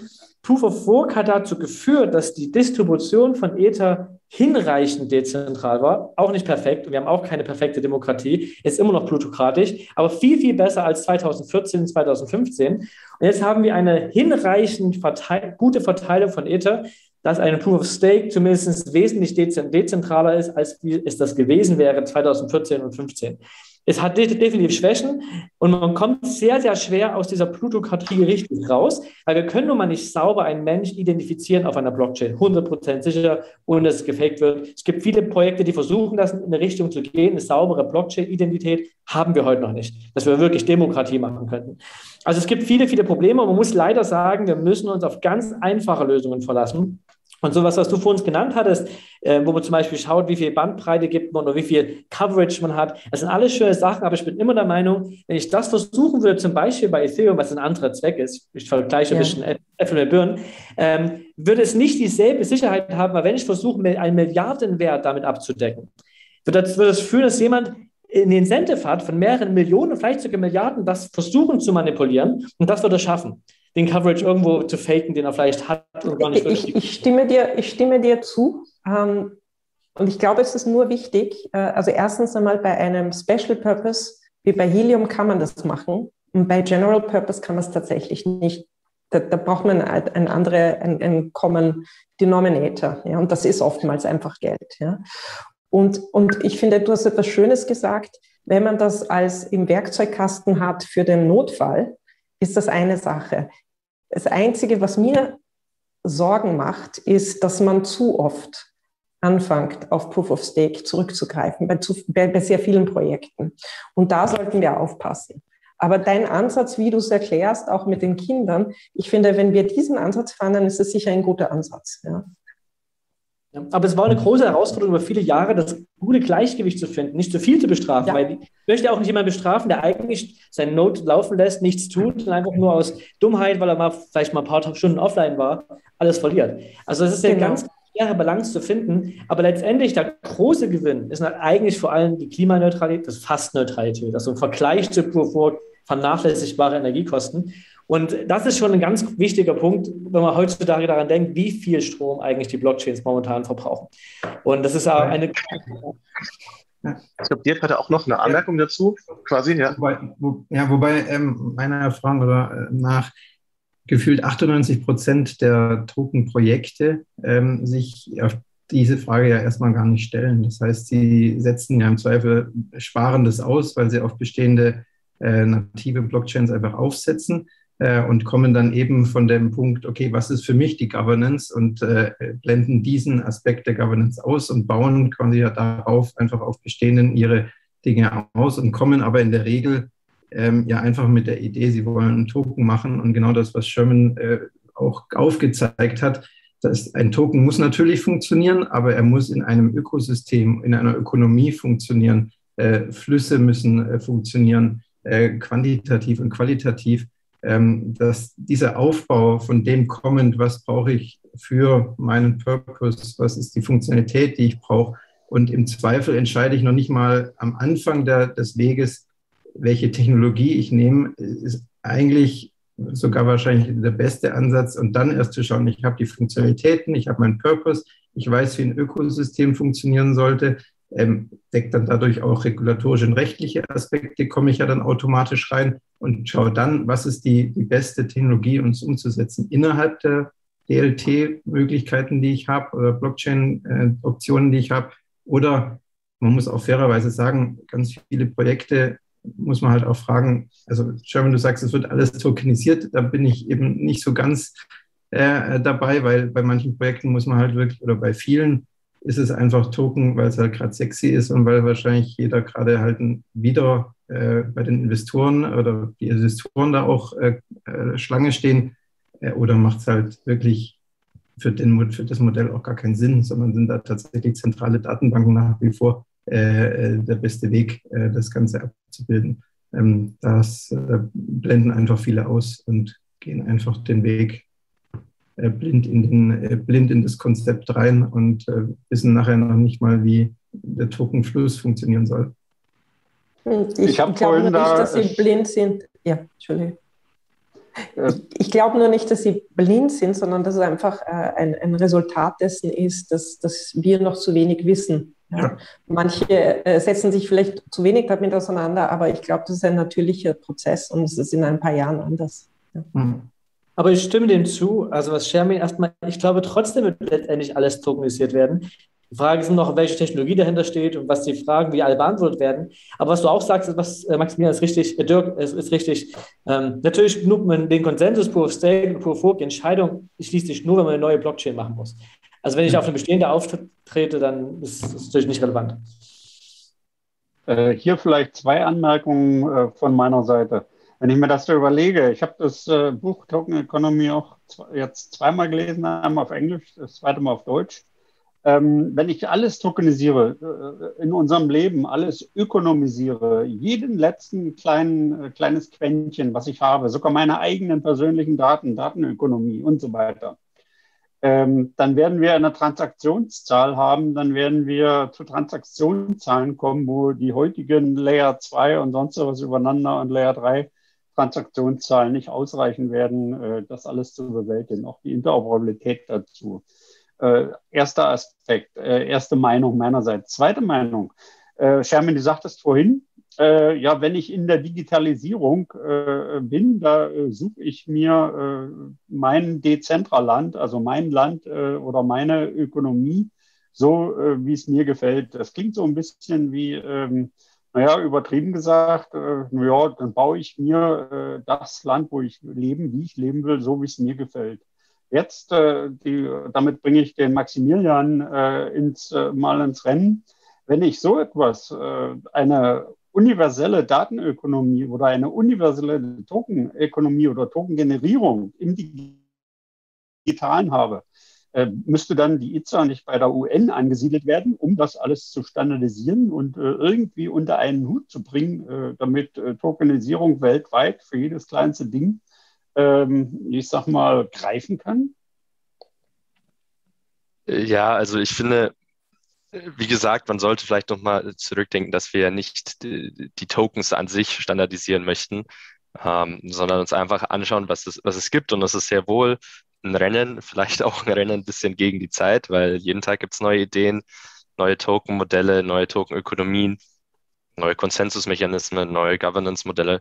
Und äh, jedes Mal müssen wir uns überlegen, okay, brauchen wir da jetzt eine neue Kategorie für oder nicht? Ähm, wie sortieren wir das in unser System ein?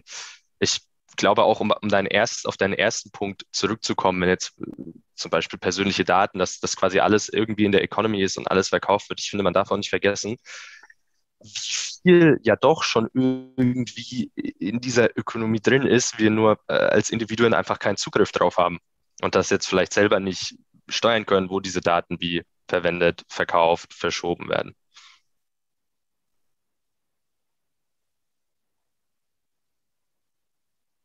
Ja, ich finde, ich sehe das auch so. Ich kann dem nur zustimmen.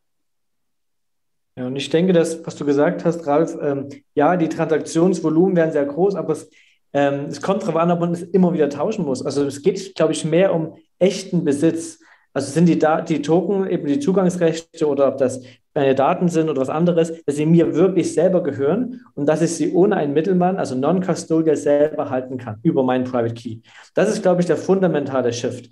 Ob ich jetzt jeden Tag mein Hausbesitzer wechseln muss oder meine Daten jede Sekunde verkaufen muss, das sind jetzt vielleicht Micro-Transaction-Modelle, vielleicht gibt es da irgendwas, aber das ist, glaube ich, nicht das Herzstück dieser ganzen Token-Modelle. Das Herzstück geht, glaube ich, wirklich darum, dass man A, diese, diesen Spielraum hat, wie man den Token genau gestaltet und dass es tatsächlich möglich ist, dass der Endnutzer direkt den Besitz hat über den Private Key und entscheiden kann, wie oft er was und wie damit macht. Und das ist eben heute nicht wirklich der Fall, weil ich meine Daten nicht richtig besitze in dieser Web 2-Ökonomie. Und eben auch andere Dinge und Zugriffsrechte, meine, selbst Tickets sind letztendlich nur Gutscheine, aber jemand anderes muss mich da reinlassen. Wenn mein Token, das wahre Ticket, das mit cleveren IoT-Geräten mich wirklich direkt reinlassen kann, das ist der wahre Besitz des Zutrittsrechts, das ist eigentlich dieser, dieser wirkliche Shift. Ja. Und ich glaube, dass ähm, mit dem Aspekt auf das äh, eigene, man schafft sich sein eigenes äh, Decentraland. Ähm, ich meine, DLT und Token, die Token drauf basieren, sind eine extrem machtvolle Technologie, aber sie sind eine Technologie. Das heißt, ähm, Verbraucherschutzrechte oder ähm, auch gerade wenn ich jetzt aus der Finanzbranche komme, wir schimpfen über die Regulatorik und sie steht uns ganz sicherlich an vielen Dingen im Weg. Ähm, und sie ist an ganz vielen Dingen nicht auf diese neue Technologie noch nicht ausgerichtet und man, man, sie tut sich schwer, der, der Gesetzgeber, da sich irgendwie ranzutasten. Deswegen, das wird sicher noch dauern. Ähm, aber ähm, wir haben ein, ein wir haben, also man kann sich dieses Decentraland äh, nur in begrenztem Maße, denke ich, schaffen, solange man eben auf der äh, legalen und regulatorisch sauberen Seite sein will. Das wird sich auch ändern. Da glaube ich jetzt nicht äh, schon leider, dass das drei bis fünf Jahren da äh, in vielen Bereichen große Sprünge machen wird. Aber wir werden uns, man bewegt sich und man bewegt sich in Richtungen, aber das wird sicherlich länger dauern. Ähm, aber dennoch das heißt, wir bewegen uns in einem Rahmen. Wir setzen dadurch äh, auch nicht Gesetze erstmal außer Kraft. Äh, und äh, auch äh, wenn man mit Anwälten spricht, die zum ersten Mal von Smart Contracts hören, die denken irgendwie, das ist eine Wunderwaffe und es wird alles äh, ihre ihre Juristerei wird automatisiert und abgeschafft und alles ist neu oder ein, ein Equity Token ist auf einmal was ganz anderes als eine Aktie. Ähm, das ist, das, das, das dem ist eben äh, heute nicht so. Und da wird sich auch erstmal wenig dran ändern, glaube ich.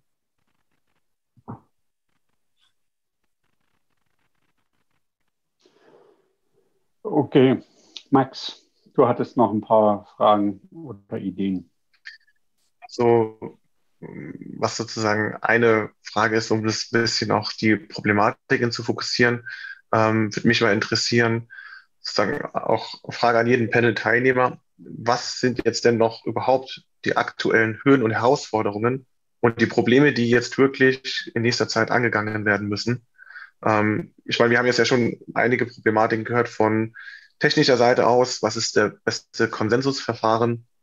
Aber jetzt haben wir quasi ja viele Panel-Teilnehmer aus unterschiedlichen Bereichen, um vielleicht auch einen Weg zu finden, wie man eine Tokenisierung ähm, gemeinsam gestalten kann. Und was sind da eurer Meinung nach sozusagen so die, die größten Herausforderungen, die, die bewältigt werden müssen? Also vielleicht, genau, Sherman, du kannst vielleicht als erstes da und dann können wir auch drei um, gerne Reihe umgehen von, ja. Ähm, also ich glaube, wir haben unterschiedliche Herausforderungen. Äh, das eine ist auch Bildung, ja, Wissen und Bildung. Dazu trägt natürlich diese Meetups, äh, tragen viel dazu bei, ähm, also wenn wir nicht genug Leute haben, die verstehen, was wir mit diesen Systemen machen können, dann äh, bringen uns diese Systeme nicht oder dann äh, wird das auch Ungleichheiten erzeugen zwischen denen, die wissen, wie sie Tokensysteme bauen und davon profitieren äh, einseitig. Äh, das heißt, ich glaube, äh, eine Sache, die wir brauchen, ist auf jeden Fall dieses äh, Wissen zu verbreiten. was ist die Technologie? Was kann sie? wie können wir sie nützen? Ja? Und worauf müssen wir auch in der technischen und ökonomischen Entwicklung achten, damit es nicht äh, Gesellschaftsdynamiken ergibt, die wir vielleicht nicht wollen. Ja? Ähm, das ist das Wichtige. Ich glaube, wir haben zwei Bottlenecks, äh, infrastrukturmäßig. Äh, Im Backend ist es, sind das die Full Nodes. Wir haben Blockchain-Netzwerke, die ganz zu wenige Full Nodes haben mit allen Daten. Da können wir nicht von Dezentralisierung reden. Ethereum ist ein Beispiel. Ähm, und ähm, äh, Full Node ist ein Bottleneck und, und äh, Wallets sind ein Bottleneck. Also wir werden sicher nicht in eine, äh, das, full, das volle Potenzial äh, von von der Tokenökonomie ausschöpfen, solange wir Wallets haben, die nur Asset-Tokens haben, machen und dann auch nur eine bestimmte Klasse von Asset-Tokens und dann Wallets machen, die nur Identity machen. Also in dem Augenblick, wo wir eine Wallet haben, eine Multipurpose-Wallet, ja, ähm, wo, wo wir unterschiedliche Tokensysteme darüber abbilden können, wo ich meine Credentials darüber managen kann, wo ich meinen gesamten Browserverlauf wie bei BET darüber managen kann ähm, und äh, gleichzeitig aber auch hier meine, äh, meine äh, sozusagen Cryptocurrencies oder Crypto-Assets äh, spenden oder traden kann, dann kommen wir wirklich äh, in, das volle Potenzial der Tokenökonomie. Da sind wir nicht.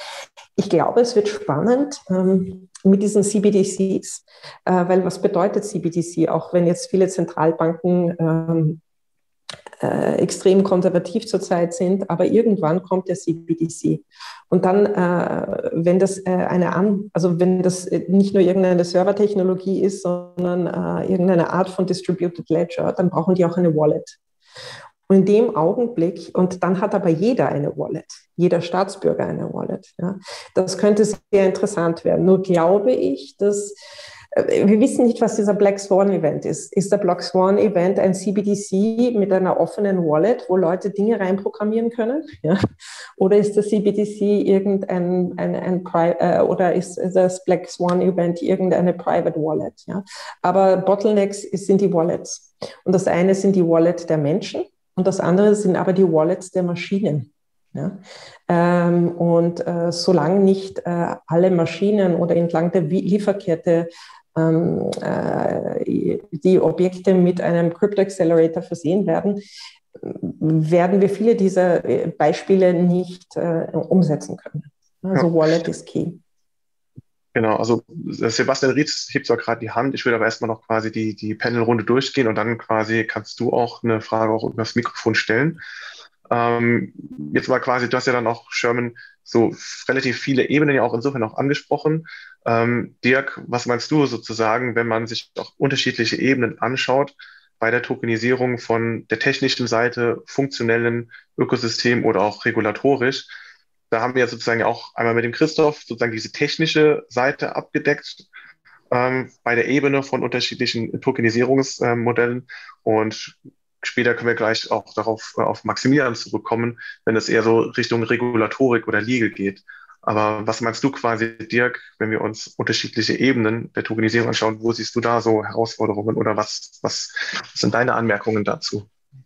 Also zunächst mal äh, pflichte ich äh, Sherman komple komplett bei. Ähm, Bildung, also in allen Bereichen, also Richtung äh, natürlich Gesetzgeber, kommen wir gleich auch nochmal drauf, äh, Regulator, ähm, aber auch äh, in die Unternehmen rein. Also ähm, beispielsweise, wenn wir mit Konzernen sprechen und äh, dann kommt aus Compliance, Finanzabteilung der Punkt, wie können wir, wenn wir ein Token-Projekt machen, garantieren, dass nicht einer der Node-Betreiber irgendwie äh, äh, ja, äh, kriminell ist, äh, dann wollen sie das nicht machen.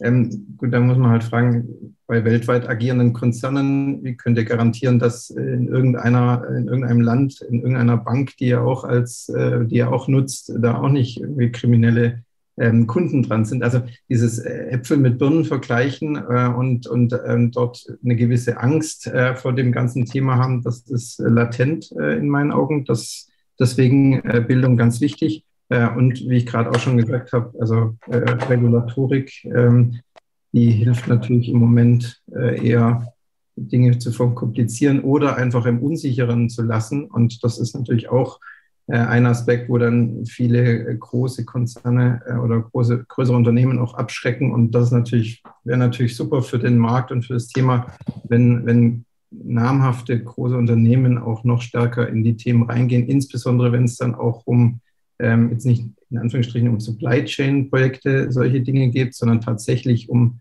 Ökonomien, wo es dann auch um Zahlungen geht, um also Geldflüsse, ähm, ähm, etc. Das äh, fehlt, glaube ich, noch.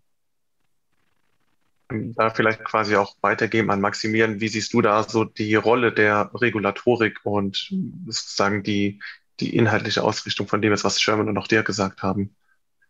Also ich würde erst vielleicht noch mal kurz auf das Thema Bildung eingehen.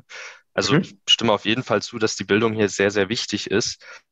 Ähm, ich glaube aber, es geht da eher um eine generelle Bildung, was die Digitalisierung angeht.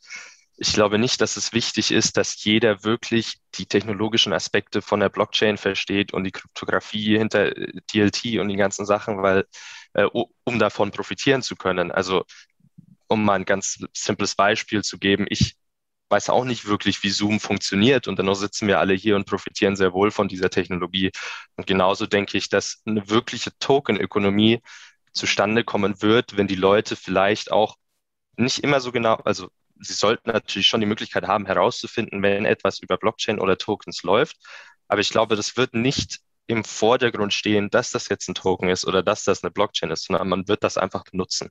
Genauso wie ich mir heute einfach ein Uber rufe über eine App, ohne zu wissen, wie der App Store funktioniert oder, oder Uber oder wie ich da jetzt an den Fahrer verbunden werde. Ich glaube, viele Leute wollen das vielleicht auch gar nicht so konkret in dem Detail wissen, sondern die wissen, hey, hier ist eine Lösung für mich, ich sehe äh, den direkten Nutzen, ich äh, profitiere davon ähm, und äh, so, so wird das dann halt einfach verwendet. Um auf die Regulatorik einzugehen, und wir haben dazu, glaube ich, habe vorhin im Chat eine ganz interessante ja, Frage so ein bisschen dazu gelesen, wo, wo es über eben genau Werte und Rechte geht, die von Token repräsentiert werden. Ähm, dass wir aber irgendwie ja doch noch eine zentrale, zum Beispiel Staatsgewalt benötigen, die mir versichert, dass ich eben diese Rechte habe. Ähm, und das ist eben dann genau das Thema mit der Regulation. Ähm, ich glaube, dass die Technologie schon deutlich viel, viel, viel weiter ist als die Regulatorik.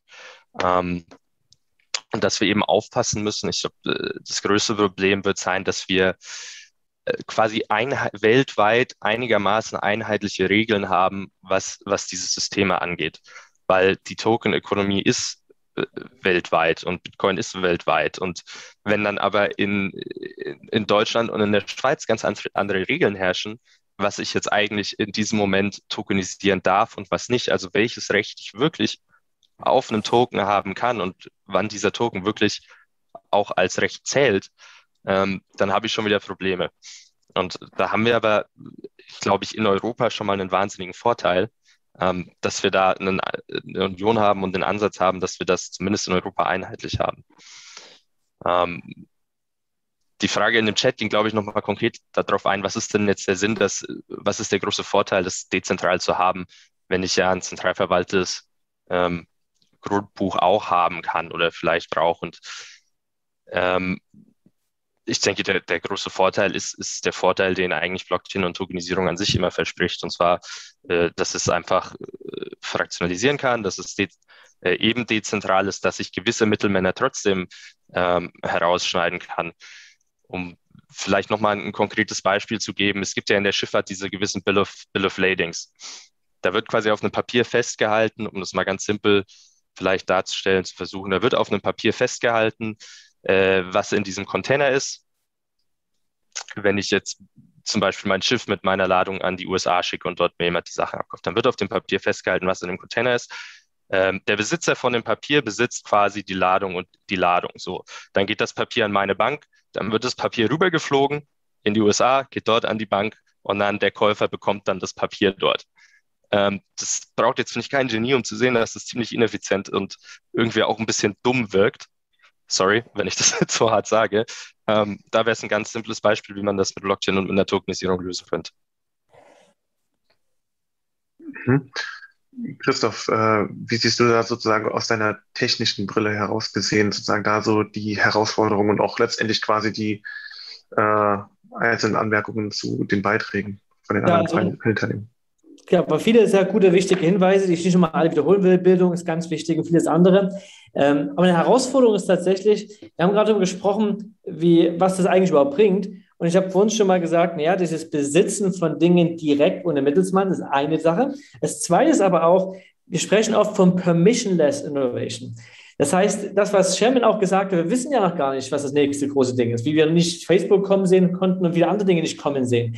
Aber damit sie entstehen können, braucht man eine Plattform, wo man ganz offen Innovationen betreiben kann. Das Tolle bei den vielen Plattformen, wie zum Beispiel Ethereum, ist, dass die Smart Contracts alle miteinander interoperabel sind. Ich kann was Neues bauen, was die anderen aufruft, bestehende NFTs benutzt oder andere Tokens wie was draufsetzt. Und dieses ganz einfache Auf, Aufbauen, miteinander interagieren und das, die bestehende Wallet-Infrastruktur nutzen. Ich muss kein neues Wallet machen, nur für mein Projekt. Der Token kann auch dort drin laufen. Das ist das, was dieses Ökosystem insgesamt sehr, sehr, sehr, sehr stark ausmacht, diese Interoperabilität, dieses Permissionless Innovation.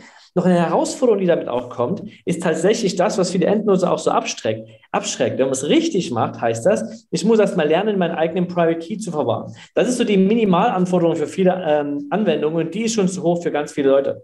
Wenn ich anfange, das gleich wieder zentral über irgendeine Plattform oder ein Custodian laufen zu lassen, so ist es tatsächlich so, wenn alle das machen würden, dann brauche ich auch keine Blockchain, dann kann der seine Datenbank auch einfach laufen lassen. Deshalb Coinbase hat letztendlich auch, klar nutzen die Bitcoin Ether, aber das meiste läuft einfach nur in ihrer Datenbank ab, weil die gar nicht so oft die Blockchain eigentlich anfassen müssen, weil die nur die Balance in ihren eigenen Orderbook austauschen müssen. Und wenn immer mehr zentrale ähm, Zwischendienste da sind, und immer mehr Custodians, ist der eigentliche Haupt- oder ein wichtiger Zweck der Blockchain eigentlich schon mal weg. Also schaffen wir es, dass Menschen einfach nur das schaffen, dass sie ihre eigenen Private Keys oder noch besser Multisigs, also mehrere Private Keys, richtig zu verwalten ich weiß nicht, ob unsere Generation da, dass die breite Masse das tun wird. Vielleicht sind es unsere Kinder, die einfach lernen, damit sauber einen Multisig aufzusetzen und Keys zu verwenden. Aber das halte ich zumindest für eine große Herausforderung. Wenn wir die nicht lösen, dann kann es sein, dass wir in vielleicht fünf bis zehn Jahren gar nicht mehr weit weg sind von dem, was wir heute im Web 2 haben. Wir haben auch mal dezentral mit Internet angefangen und nach ein paar Jahren später waren es fünf große Player, die das Internet regieren. Und dasselbe kann uns auch im Web 3 passieren, wenn wir alle Keys in irgendwelchen Custodians geben und letztendlich die volle Kontrolle über alles, was passiert. Also das ist ja. eine ganz große Herausforderung. Ja, und das. Problem, aber Christoph, äh, genau das, was du sagst, das Problem ist, dass wenn Amerika anfängt, äh, sozusagen Sie nennen das jetzt schon Non-Custodial Wallet, ja, zu verbieten. Eigentlich die Quintessenz dessen, weswegen äh, äh, sozusagen äh, Bitcoin geschaffen wurde, um das Web 3, das gefolgt wird, dass du deine Token selber verwalten kannst. Und die amerikanische Regierung verbietet das jetzt, macht das illegal. Und hier haben wir auch ein juristisches Problem. Also äh, das, was du sagst, ist völlig richtig. Wenn wir haben einerseits die, die Usability-Herausforderung und dann haben wir aber so große Jurisdiktionen wie die USA. Äh, und die Usability-Herausforderung könnten wir sogar schaffen. Aber wenn die Jurisdiktion es dann auch noch verbietet, da habe ich auch die größte Sorge und da habe ich auch eine große Sorge, dass wir äh, dann wieder neue Machtzentren haben um die Exchanges. Ja, also so die, die, ja. Ich sehe ganz klar, also die einmal, dass die Leute ihr Prior Key managen können, aber das zweite ist, die größte Herausforderung wird die Regulatorik werden. Ich glaube, jetzt schon sagen wir, es ärgert uns ein bisschen. Ähm, ich hatte diese Woche ein, ja, heute, ja, diese Woche ein Treffen gehabt, da war der äh, neue Direktor oder Präsident von der BaFin. Und ich habe ihm ganz konkret die Frage gestellt, wie er denn so mit Non-Custodial Wallet und Peer-to-Peer-Payments und so weiter sieht. Und seine Aussage war nicht, nicht wirklich, aber er sieht es mehr so wie eine Hippie-Kommune. Wenn sie klein sind, alles okay. Wenn sie zu groß sind, müssen wir aufräumen. Das heißt in anderen Worten, es gibt in dieser aktuellen Finanzwelt oder in aktuellen Finanzaufsichten weltweit keinen Platz für echte Peer-to-Peer-Payments und eigenen Token im Besitz und so weiter. Nicht im großen Stil. Im kleinen Stil ist es alles so, unter, da geht das schon, aber im großen Stil wird ein echter Eingriff erfolgen. Wir haben das ganz krass in China gesehen, äh, schon oft angekündigt, jetzt mal ein bisschen härter umgesetzt. Aber auch in den USA wird es immer dominanter und es wird immer mehr darüber gesprochen. Wir wissen, dass Regulatoren oft zwei, drei Jahre brauchen. Und ich glaube, 2017 wurden sie schon aufgeschreckt mit dem ICO-Boom. Und da wurde das Thema erstmal aufgekommen. Es war immer noch klein. Und inzwischen ist es einfach so groß, dass eigentlich die ganze Token-Welt und Blockchain-Welt, zumindest bei Trilliarden, dass wir nicht mehr klein sind. Und die, ja, sie brauchen eine Weile, aber es wird kommen. Und ich habe eigentlich große Angst vor dieser Regulatorik, die auf uns zukommen wird. Und wenn es soweit ist, dass wir keine Non-Custodial Wallets mehr haben dürfen oder nur noch Freibeträge von bis zu 10.000 Euro selber machen dürfen, alles drüber muss über irgendeinen regulierten Exchange laufen, dann tötet es eigentlich sehr viel vom Kern dieser Idee. Und dann ist eigentlich das Hauptproblem, dass Permissionless Innovation nicht mehr so leicht möglich sein wird. Ich kann nicht einfach eine neue DeFi-App bauen, weil ich brauche irgendeine Lizenz dafür, die so schwer wird zu bekommen, dass ich eigentlich eine Bank sein muss. Und dann hört eigentlich ganz viel von dem, was wir gerade tun, auf oder verschwindet ein bisschen in den Untergrund und findet dann irgendwo auf Cayman Islands, Panama und Hongkong und so weiter statt. Hongkong vielleicht nicht mehr, aber andere Städte. Und das ist auch nicht schön. Und das rückt dann so ein bisschen ins halb illegale Graubereich, was wir auch nicht wollen. Wir wollen ja eigentlich miteinander interagieren. Das ist eigentlich für mich die große Befürchtung, in welche Richtung ja. sich das liegen wird. Und, und, und ohne jetzt zu, zu, tief in die Regulatorik abzusteigen, genau in die Richtung geht auch, wenn man vor vier Wochen ist etwa in Deutschland die neue Kryptotransferverordnung äh, vom Finanzministerium in Kraft getreten, geht genau in die Richtung, Sherman, du sagst, in Amerika wird äh, Peer-to-Peer ganz verboten. Äh, und äh, was noch hinzukommt, ist, dass die Custody zu, oder Custodian zu, zu Custodian Transaktionen auch Richtung einer, einer Datenauf, einer Auflage an, an, Daten geknüpft werden, die da kommuniziert oder ausgetauscht werden müssen, die an, an normale SEPA-Transaktionen langsam rankommt. Also genau, es wird halt versucht, dieses ganze Thema, jetzt wird es groß, dann dort im Zweifel irgendwie reinzupressen in bekannte Muster, wo es halt einfach nicht reinpasst. Und deswegen wird's, bin ich dabei. Also das wird äh, ein großer Punkt, ähm, den es irgendwie zu lösen gibt, dass, das, dass die Macht der Technologie auch genutzt werden kann. Naja, hier ähm, sehe ich auch, das ist so ein bisschen wie äh, Krieg der Sterne. Ich sag mal, da entwickelt sich was Gutes, Freiheitliches und äh, das Imperium schlägt aber immer wieder und dauernd zurück. ähm, jetzt mal übertrieben gesagt, ähm, wenn es, äh, Sherman, du äh, versuchst jetzt da in Portugal ein bisschen was Eigenes zu gründen. Und äh, es gibt ja auch zurzeit. Äh, äh, von dem Titus Gebel getrieben, ist ein Beispiel, äh, die Initiative von freien Privatstädten, die sich dann vielleicht eine eigene Gesetzgebung äh, partiell in so kleinen Stadtstaaten geben. Wir hatten das vor 400, 500 Jahren auch schon mal, Genua, Venedig und so weiter. Ähm, Wiederholt sich da die Geschichte an der Stelle? Brauchen wir, um. Sie wiederholt mal, sich immer. Ja, das stimmt. Die Geschichte äh, stehen, wiederholt sich immer. Das stehen, wir hier, ja. ja. stehen wir hier vor einer solchen Geschichte? Und noch eine andere Frage. Mit dem äh, äh, ökonomischen, kryptoökonomischen Institut, was du in äh, Wien gegründet hattest, äh, mhm. sahst oder siehst du dich da auch ein bisschen in der Linie der österreichischen libertären Denkschule? Ehemals? Von Hayek ja, von den anderen nicht. Also Hayek wird oftmals, dem wird Unrecht getan, weil er war ein Komplexitätsökonom. Und ähm, ja, die Austrian Economists sind nicht einheitlich. ähm, äh, wie gesagt, ich bin ein großer Fan von Hayek, aber er hat auch damals gesagt, dass die Mittel, mit denen man ökonomische ähm, Forecasts macht und Ökonomie misst, dass die unzulänglich sind. Ja. Und wir sind aber mittlerweile aufgrund der Entwicklung von Computern und Datenerfassung, ich meine, ihr müsst euch vorstellen, wie äh, Ökonomie heute noch funktioniert. Äh, ökonomische ähm, äh, äh sozusagen Planung einer Volkswirtschaft basiert auf drei, vier, fünf Metriken, die man irgendwann vor 100, 200 Jahren definiert hat aufgrund einer Datenerfassung, wo man alle zehn Jahre irgendwie ein, ein, ein wie heißt das, eine Volkscensus, ähm, wie sagt man das auf Deutsch? Äh, eine, eine Volkserhebung gemacht hat, also die Daten einer Ökonomie. Ähm, äh, die funktionieren noch immer nicht wirklich datengetrieben und in Echtzeit. Und das Spannende in diesen, im Web 3 ist, dass, weil es im Internet passiert, das ist datengetrieben. Ja. Das heißt, wir können datengetriebene, äh, zurzeit ist es so, dass wir die, jetzt habe ich aber sehr, äh, sehr groß ausgeholt. Das heißt, ähm, ich glaube, wie wir Ökonomie verstehen, ist noch ein bisschen ähm, ähm, äh, mittelalterlich. Ja? Äh, oder sehr industriell, kommt aus dem industriellen Zeitalter, Mittelalter, die industriellen Zeitalter. In einer datengetriebenen Welt kann man viel smartere Ökonomie machen, ähm, äh, aufgrund von Echtzeitdaten, äh, die in Blockchain-Netzwerken ja überall vorhanden sind. Ja und, äh, und auch öffentlich vorhanden sind. Und wenn wir Algorithmen zur, äh, für äh, sozusagen, wenn wir die Kombination zu, zwischen künstlicher Intelligenz und äh, Man-Made Governance das kann in eine, in eine spannende Richtung von, von, von, von futuristischer Ökonomie gehen, wo eigentlich Hayek schon angesetzt hatte. Aber äh, das heißt, in der Linie von Hayek sehe ich mich, von den anderen Österreichern nicht. Ja, die, die waren so ein bisschen zu konservativ, würde ich sagen.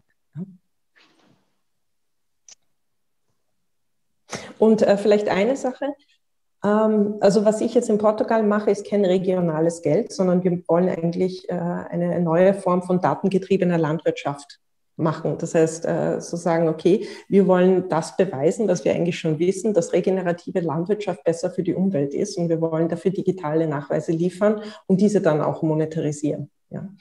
Ähm, aber was jetzt schon passiert, weil du gesagt hast, dass sich die Geschichte wiederholt, ist, dass natürlich äh, diese Konzepte um regionales Geld oder alternative Geld und alternative Wertschöpfungssysteme, das ist ja keine neue Sache. Und damit haben wir äh, in Europa experimentiert, mit Freigeld haben die Amerikaner experimentiert. Das sind ja alles keine neuen Konzepte. Wir haben jetzt nur eine spannende Technologie, wo jeder auf einer öffentlichen Plattform wie Ethereum sein eigenes Freigeld machen kann. Die Frage ist, wer will Teil dieses Systems sein? Sind fünf Leute Teil des Systems oder 500 Millionen Leute Teil des Systems? Und dann, wenn sich die eine die, die Idee oder äh, die andere die Idee durchsetzen, diese Systeme können lokal sein, wie in Wien, die den äh, Kulturtoken, äh, den wir da mit der Stadt Wien damals begonnen haben, als ich noch bei der Uni war, ähm, oder sie können überregional sein, wie Ethereum äh, oder andere DAOs äh, äh, unterschiedlicher Natur. Ja?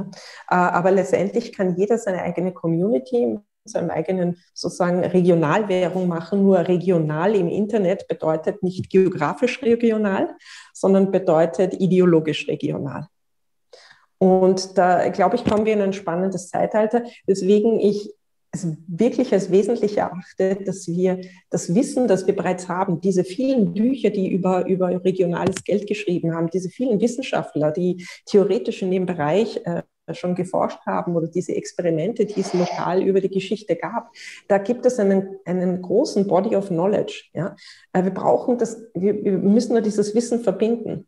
Und wir können künstliche Intelligenz dafür auch verwenden. Also worüber wir viel zu wenig sprechen, ist die Schnittstelle zwischen Web 3 und diesen handgestrickten Protokollen, ja, die wir so wie Gesetze selber schreiben. So Menschen schreiben Gesetze, aber sie sind jetzt in Smart Contracts verpackt. Ja und äh, selbstlernende Algorithmen, äh, beziehungsweise äh, äh, nicht nur Machine Learning, sondern einfach auch, auch maschinelles Denken, das viel schneller ist als menschliches Denken, das Informationen viel effizienter verarbeiten kann. Und wenn wir diese zwei Sachen sinnvoll vereinen, können wir in ein viel besseren Zeitalter einer intelligenteren Governance kommen, weil die Komplexität einzelne Menschen gar nicht mehr sehen. Aber wenn wir maschinenunterstützte Governance machen, in einer sinnvollen Art und Weise, glaube ich, äh, kann sehr spannend werden. Vielleicht ist das auch schon so ein bisschen eine Beantwortung der Frage von, vom Till K. Der hat nämlich auch quasi eine Frage an dich direkt gestellt, Sherman. Nämlich, mhm. ist er sozusagen ein Teil aus einem sozialen System, nämlich äh, des Unternehmertums. Und mhm. ähm, er sieht sozusagen das Unternehmertum sozusagen als Bereitschaft zum Umgang mit Unsicherheit und auch die Übernahme des Risikos. Mhm. Und das sieht er sozusagen als wichtige Komponente des Wirtschaftslebens. Und das lässt sich aber letztendlich schwer programmieren, diese Unsicherheit und dieses Risiko. Und weil einfach niemand weiß, was morgen kommt und letztendlich man nur reagieren könnte. Und damit quasi ein Black Swan wäre. Und da hat er gefragt, wie das in einer Token-Ökonomie abgebildet werden könnte, weil eine DAO das nicht könne. Hast du die Frage soweit verstanden? Nicht. Eine DAO, nein, nein, nein, da muss ich. Wir müssen wirklich anfangen, darüber zu reden, dass es einerseits maschinelle Governance gibt, die Computational Governance, das, was wir in ein Smart Contract ins Protokoll reinschreiben. Ja? Das ist die Computational Governance. Das heißt aber nicht, dass die alleine existiert. Und das war der ganz große Fehler von der DAO. Ja? Dass man geglaubt hat, äh, man kann eine Sache einmal definieren und dann für immer so lassen, ohne es zu ändern. Das geht nicht, das ging nie. Ja? Ähm, und äh, weil sich Bedingungen ändern, weil man Dinge nicht beachtet hat. Das heißt, du musst eine Form der Human Governance haben. Ja? Das heißt, einen Human Feedback Loop. In meinem Buch habe ich ein ganzes Kapitel, in dem ich das auch beschreibe. Und wir haben auch einige Papers in meiner Zeit auf der Uni geschrieben zu dem Thema Computational Governance und Feedback Loop zwischen Mensch und Computer oder menschliche Community, weil diese, diese, diese Protokolle wurden ja auch von Menschen geschrieben. Ja? Das heißt, wir müssen herausfinden, wo agiert sozusagen das Protokoll automatisiert und in welchen Fällen agieren die Netzwerk-Stakeholder, wer darf dann wann was machen. Ja, du kannst die Menschen nicht ausradieren, das geht nicht. Ja. Wir sind noch nicht in einem Zeitalter, wo äh, äh, wir sind noch nicht in so einem fortgeschrittenen Zeitalter von Machine Learning, dass das geht. Ja. Also Bitcoin ist super, wunderbar, I love it. Ja, aber das ist ein Dinosaurier. Ja. Das ist ein sehr resilienter Dinosaurier mit dem Proof of Work. Es war ein Game Changer sondergleichen. Aber es ist so, so ähm, unsophisticated, aber trotzdem so, äh, resilient. Ja? Und wenn wir, ja. wir, wir sind nicht einmal, wir haben noch nicht einmal Machine Learning da reingebracht. Und den Menschen, wie gesagt, kannst du nicht ausradieren. Du brauchst, ähm, äh, du brauchst, äh, du brauchst äh, Schiedsgerichte, äh, du brauchst äh, Mechanismen, wo du für unvorhergesehene Ereignisse, ähm, dass du gewisse ähm, sozusagen Contracts wieder rückgängig machen kannst. Aber das sind Sachen, die wir schon alle in der Geschichte des Rechtsstaates, dafür gibt es Vorkehrungen. Jetzt müssen wir alles auch nicht selber neu erfinden. Wir müssen nur Juristen ähm, an Bord holen, die, äh, die uns helfen, die Smart Contracts zu schreiben. Nämlich nicht aus regulatorischer Sicht, sondern aus praktischer Sicht. Ja. Das eine ist, was der sozusagen Regulator von uns erfordert. Das andere ist, was praktisch, logisch notwendig ist. Ja. Und wenn ich, und das war meine größte Kritik an der DAO, wenn du zwölf Leute hinsetzt, die nur Ingenieure sind, du hast keine Politikwissenschaftler, du hast keinen Ökonomen, du hast keine Leute, die mit einer anderen Sicht da reinkommen, das Ganze ist aber ein sozioökonomisches System, dann wird das natürlich ein einseitiges System. Ja. Christoph, wie siehst du das? Ja. Ähm, Perfekt. Vieles richtig und vieles bei der DAO war ja auch nicht gut, haben wir auch gelernt. Ähm, war ja auch ein großes Experiment letztendlich.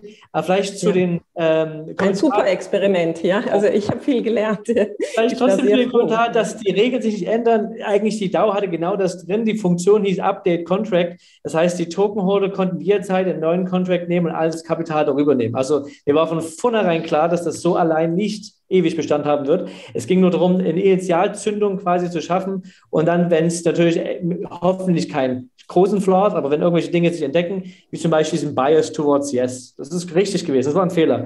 Und das, da gab es schon die DAO 1.1 und 2.0, die waren alle schon in der Mache. Und dann wäre es eigentlich nur noch in Anführungsstrichen gewesen, dass die Tokenholder verwählen müssten, dass sie up, upgraden zu diesem Contract. Also dieser Gedanke von Weiterentwicklung ist immer drin. Und ich glaube, es steckt auch tief drin, weil man Bitcoin ist hier im Vergleich, ich fand, das war ein sehr guter Vergleich. Bitcoin ist extrem Resilienz, weil sie ähm, bewusst sich nicht verändern wollen. Das ist auch ein Value Proposition. Hat mhm. negative Konsequenzen, aber das ist auch ein Grund, warum es tatsächlich gar nicht so schlecht als Währung ist, weil es eben so unveränderbar ist, so resilient und so weiter. Mit den vielen Nachteilen, die das eben auch mit sich bringt, so ein resilientes oder so ein unveränderbares System. Ethereum wiederum hat den Weg gewählt oder ist momentan einfach noch nicht so weit, so resilient zu sein. Ich glaube sogar, dass in fünf bis zehn Jahren der, vielleicht sogar schon eher, der Layer One von Ethereum tatsächlich ähnlich fest ist wie heute Bitcoin, wo man sagt, das kann man sich kaum noch leisten, eine größere Änderung einzubauen. Ich hoffe, wir schaffen noch diesen Merge zu ETH 2.0. Danach, glaube ich, aber wird nicht mehr allzu viel im Layer 1 passieren. Und dann gehen die Innovationen weiter auf Layer 2 und Dapps und, und so weiter. Das ist eine ganz natürliche Sache, dass Systeme irgendwann rigide werden. Manchmal ist es schlecht, manchmal ist es gut. Wenn ich zum Beispiel das E-Mail-Protokoll sehe, SMTP, das hat sich seit Jahrzehnten nicht geändert, muss es auch nicht und es ist eigentlich ist nicht perfekt, aber es ist gut genug. Es macht seinen Job, E-Mail funktioniert und ist okay. Da muss man nicht ständig was dran ändern. Das heißt, SMTP ist fertig. Und so ist Bitcoin, gut, die, sind, die sagen, sie sind fertig, gibt es viele Verbesserungsmöglichkeiten, aber sie schließen das ab. Ethereum wird irgendwann an diesen Punkt kommen, dass Layer 1 das auch ist. Aber die komplexen Sachen muss man dann irgendwann auch weiter außen verlagern, weil die eben experimentell sind, weil die scheitern können. Wenn wir zum Beispiel sagen, mehr menschliche Paar reinbringen, ist ja im Prinzip schon, weil letztendlich ist es immer noch ein sozialer Konsensus. Wenn sich die, der meiste, Großteil der Ethereum-Nutzer oder Community entscheidet, auf einen anderen Fork zu gehen, selbst wenn dort weniger pur Fork sein sollte oder später mal bei uns sein sollte, können die das immer noch. Das ist eine ganz wichtige Sache, die man manchmal vergisst. Es, das, der Hardfork von der DAO hat das eigentlich ein bisschen gezeigt. Selbst hätte einer ETC weiter gemeint, aber die Mehrheit der Ethereum-Nutzer hätte gesagt, wir nutzen diese Chain, wäre der Token wertvoller gewesen und letztendlich wären alle dahin gegangen. Also im Herzen ist es immer der Mensch, im Herzen ist immer ein sozialer Konsensus über einen technischen Konsensus, dass die sich nur darüber einig sind, diesen zu nutzen. Mehr auch nicht. Und das wird auch, denke ich, immer so bleiben. Und es gibt die alles, was in Smart Contracts reingepackt werden kann. Deshalb ist es dieses Off-Chain, äh, wie Kleros das zum Beispiel macht, und andere Systeme und braucht irgendwo einen manuellen Part noch, der einen Richterspruch setzt. Nur man versucht natürlich, den zu minimieren, weil das macht die Systeme ja so attraktiv. Wenn man es schafft, ein System zu schaffen, was in sich gut läuft, ist es sehr schön. Wenn es komplexer wird, braucht man wieder manuelle Prozesse, Richter oder ähm, ja, Mentor Prozesse, die einfach diese kleinen Schwächen, die sie alle haben, eben ausbügeln. Das ist ganz normal. Und künstliche Intelligenz und Machine Learning. Ich glaube, das, das vergessen wir tatsächlich immer. Also wir, wir, wir missbrauchen der Mensch hat eine bedingte äh, sozusagen Schnelligkeit bei der Verarbeitung von Erfahrungsdaten. Wir haben kollektive Erfahrungsdaten, die Maschinen viel besser auswerten können. Und wenn wir anfangen, äh, maschinenunterstützte Governance zu machen, um Blockchain-Protokolle und andere DAO-Protokolle zu schreiben oder, oder Tokensysteme zu schreiben und zu adaptieren, dann glaube ich, kommen wir äh, sozusagen, dann wird es spannend. Aber wir sind tatsächlich äh, noch äh, in dem Zeitalter, wo wir handgestrickte, sehr einfache Systeme machen, die wir Stück für Stück ähm, iterativ verbessern und einfach auch lernen, weil, weil es wirklich eine, eine neue Welt ist. Ja. Vielleicht dahingehend auch ähm, nochmal, um den Maximilian nochmal auf eine Etzer mit einzubeziehen. Ähm, wie, wie, wie sieht ihr das Ganze sozusagen von der Itzer-Seite aus? Ähm, habt ihr da auch, sage ich mal, mehrere unterschiedliche Rollen und Perspektiven, die ihr damit einbezieht für so eine Token-Standardisierungsmöglichkeit? Oder wie ist da bei euch sozusagen der Vorgang, um letztendlich so einen gewissen Rahmen auch zu schaffen? Ähm, also das ist bei uns eigentlich, ich würde das eigentlich als relativ straight äh, forward beschreiben. Wir schauen uns den Markt an und wir schauen uns, was es gibt. Ähm, und äh, wir reagieren darauf. Wir, wie gesagt, wir, wir sind nicht daran beteiligt, den Markt und die Token, die es gibt, in irgendeiner Weise zu formen oder äh, in irgendeine Richtung zu bewegen. Wir, und wir haben uns einfach das als Ziel gesetzt, das alles abbilden zu können. Und wenn sich eine, wenn es eine große neue Veränderung gibt, dann, dann reagieren wir natürlich darauf und ähm, bauen dementsprechend unser Framework nach. Ich glaube, das ist so ein bisschen auch der Hauptunterschied zwischen unserer äh, Klassifizierung und äh, dem Ansatz von Sherman. Ähm, bei Sherman geht es einmal darum, einen Token zu bauen und sich zu überlegen, welche Economics brauche ich da und wie baue ich den am besten für meinen Use Case.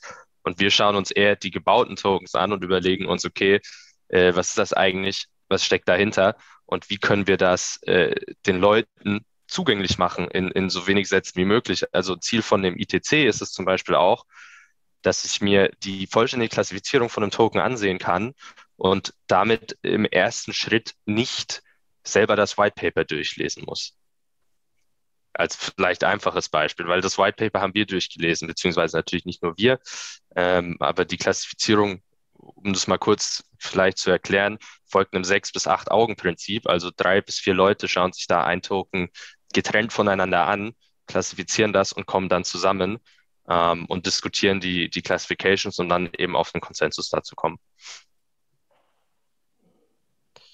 Ähm, ist, auch, ist, auch eine Art von Proof, ist auch eine Art von Proof of Work. ja, wir stimmen dann, um ehrlich zu sein, ab. Ziemlich langweilig eigentlich. Und die Mehrheit. Ja, das klingt spannend. Habt ihr da, aber ich nehme an, ihr habt auch vordefinierte sozusagen ähm, Eigenschaften oder, oder, oder äh, Properties und, und, und Kategorien, anhand derer mhm. ihr das klassifiziert. Ja. Vielleicht genau, können wir uns also da wir auch mal austauschen. Ja. Sehr, oder sehr gerne. ja. Das ist schon sehr spannend, weil also ich meine, ich mache das ja auch so. Ich schaue mir, ich versuche das Ganze anhand der unterschiedlichen Use Cases zu verstehen. Ja, und das nächste Buch wird bei mir auch sehr Use Case orientiert sein, ja, mit mehr Systematik, ähm, ähm, äh, um, um einfach das verständlicher zu machen, weil ich glaube, wir sind noch in diesem sehr early stage, wo wir Tokensysteme äh, sozusagen noch nicht unterschieden haben, die unterschiedlichen ähm, Patterns, ja, Token-Patterns.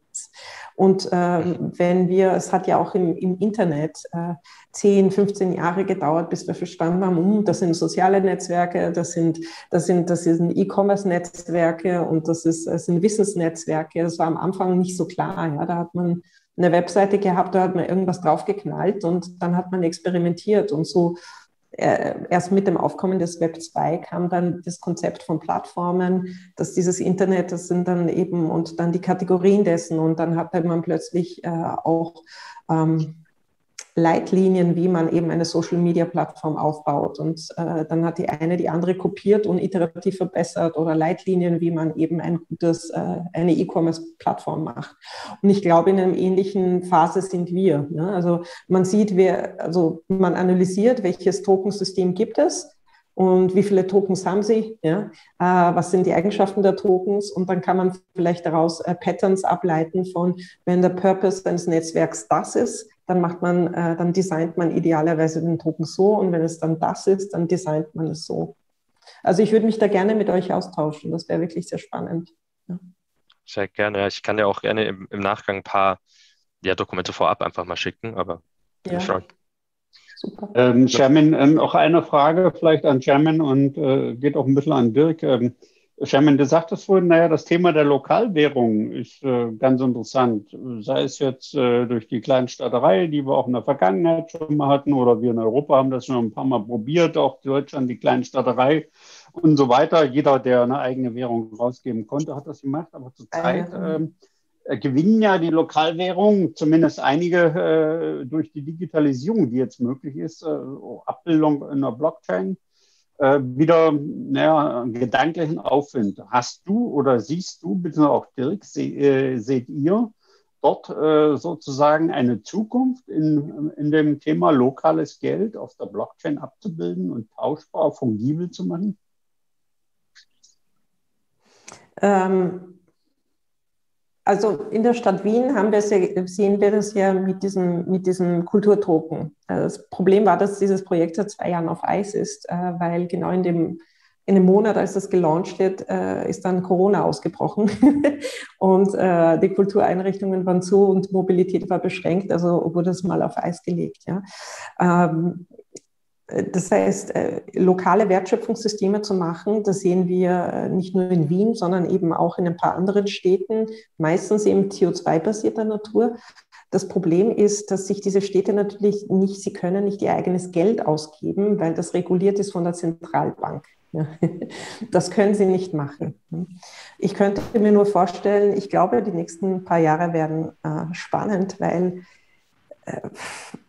dann, wenn eine größere Krise kommt, wie eine Wirtschaftskrise, ob sie lokal oder, oder, oder national ist, dann werden, glaube ich, spannende Sachen passieren. Weil im Vakuum dann sich diese neuen Technologien äh, genutzt werden können, um in diesem Vakuum ähm, ähm, äh, Lösungen zu finden. Und so war das ja bei diesen Regionalwährungen auch in Wörgl in Österreich, das Wörgler Schwundgeld, das kam ja in der Zwischenkriegszeit. Und in, in Deutschland gab es auch sehr viel lokales Geld. Das war natürlich in dieser Zeit der Wirtschaftskrise. Hm. Aber, aber in normalen Zeiten werden sich, äh, werden sich keine Städte trauen, ihr eigenes Geld auszugeben. Also sie können es nicht, weil es staatlich reguliert ist. Also ich bereite dazu gerade ähm, äh, im Rahmen der Blockchain-Schaufensterregion ein sehr interessantes Antrag, Projektantrag zu lokalem Geld vor. Ähm, okay. Sollten wir uns mal unterhalten. Ähm, es gibt äh, 30 Lokalwährungen in Deutschland immer noch. Man kann das äh, Geld ausgeben, auch unter der E-Geld-Verordnung. Und okay. ähm, äh, das muss natürlich äh, unter, darf nicht in den BaFin-Aufsichtsbereich kommen wie, die, äh, wie der ähm, genau. äh, Christoph vorhin schon sagte, naja, wir gucken uns das an. Wenn ihr zu gewaltig, zu groß werdet, dann regulieren wir euch äh, und äh, genau. das muss man natürlich einhalten. Ja. ja aber ja, interessant zu wissen. Aber tatsächlich ist ja so, ich meine, ab wann ist es ein Geld und ab wann ist es äh, ein, ein Stuttgart äh, Bonus äh, Bonuspunkte oder Bonuspunktesystem, ab wann ist es Geld und ab wann ist es irgendwie ein Bonussystem. Und da gibt es tatsächlich ähm, also da ist die Frage A, äh, wie kriege ich das regulatorisch hin? Da gibt es, sagen wir mal, Schlupflöcher bzw. Graube, äh, nicht Graubereiche, da gibt es klar definierte Bereiche, bis zu welchen Größen, ähm, Netzwerkgrößen, sowas dann auch tatsächlich auch äh, bei der Regulatorik ähm, außen vor ist. Ähm, aber äh, interessant wird es ja im Zweifel, wenn es dann größer wird. Äh, und äh, wie gestaltet man das? Und dann die zweite Frage ist wiederum, ähm, ab welchem Punkt äh, oder welchen fun notwendigen Funktionalitäten he hebe ich es dann auf die Blockchain? Äh, oder machst halt so wie heute ein Bonusprogramm. Ich meine, äh, Payback ist auch ein Bonusprogramm, meistens More sind Bonusprogramme. Ähm, ab wann, wann mache ich es und lasse ich es zentral oder ab wann würde es für Miles More und Co. Sinn machen, äh, das Ganze tokenis zu tokenisieren und damit eben das Ökosystem noch, um Dinge zu erweitern, wo sie heute eben an Grenzen äh, stoßen oder wo sie eben nicht weiter können aus technischen äh, Gründen und eher nicht aus regulatorischen. Die kommen dann meistens hinzu, aber ähm, das ist so die, der Spagat. Okay, ähm, ich sehe gerade, äh, ich habe jetzt mal auf die Uhr geguckt, die Zeit ist so schnell vergangen. Äh, wir haben eigentlich bis 22 Uhr, also gerade jetzt geplant. Ähm, ich würde daher vorschlagen, naja, vielleicht äh, kommen wir in die letzte Runde. Und da würde ich jeden der Panel-Teilnehmer nochmal bitten, äh, Folgendes äh, zu beantworten oder wie er sich die Welt vorstellen könnte. Wo würden, äh, wenn wir das äh, so oder wenn jeder das so gestalten könnte, wie er wollte, wo würden wir in zehn Jahren eurer Ansicht nach jeweils äh, jeder Einzelne beantworten, bitte? Äh, oder möchte jeder Einzelne, dass wir in zehn Jahren mit der Token Economy, äh, mit der Tokenisierung of Everything stehen? Shermin, äh, fangen wir bei dir an. Okay, ich weiß nicht. Ich,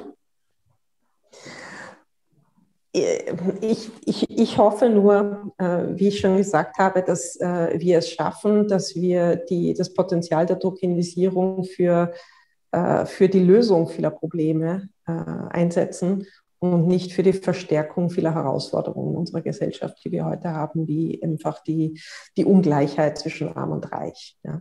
Das würde ich mir wünschen. Okay, Christoph.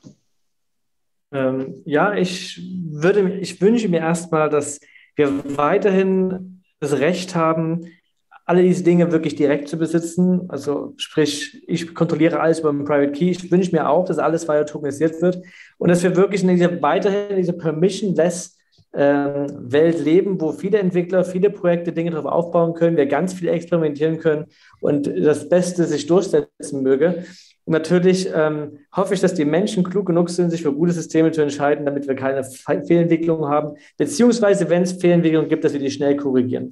Und dass wir, ähm, aber ich hoffe, viele in dieser Community sind eigentlich sehr, ähm, wie, soll, wie soll man sagen, wünschen sich eine bessere Welt, sind bereit dafür Risiko einzugehen, zu experimentieren, aber sind auch so, dass das korrigieren, wenn es Fehlentwicklungen gibt.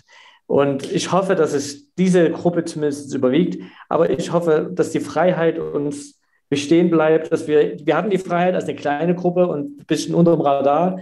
Und wenn wir jetzt ein bisschen größer und auf, mehr, mehr Aufmerksamkeit bekommen, dass wir die Freiheit nicht verlieren. Das ist, was ich mir wünsche. Dirk, deine Antwort als Sticky Buddies.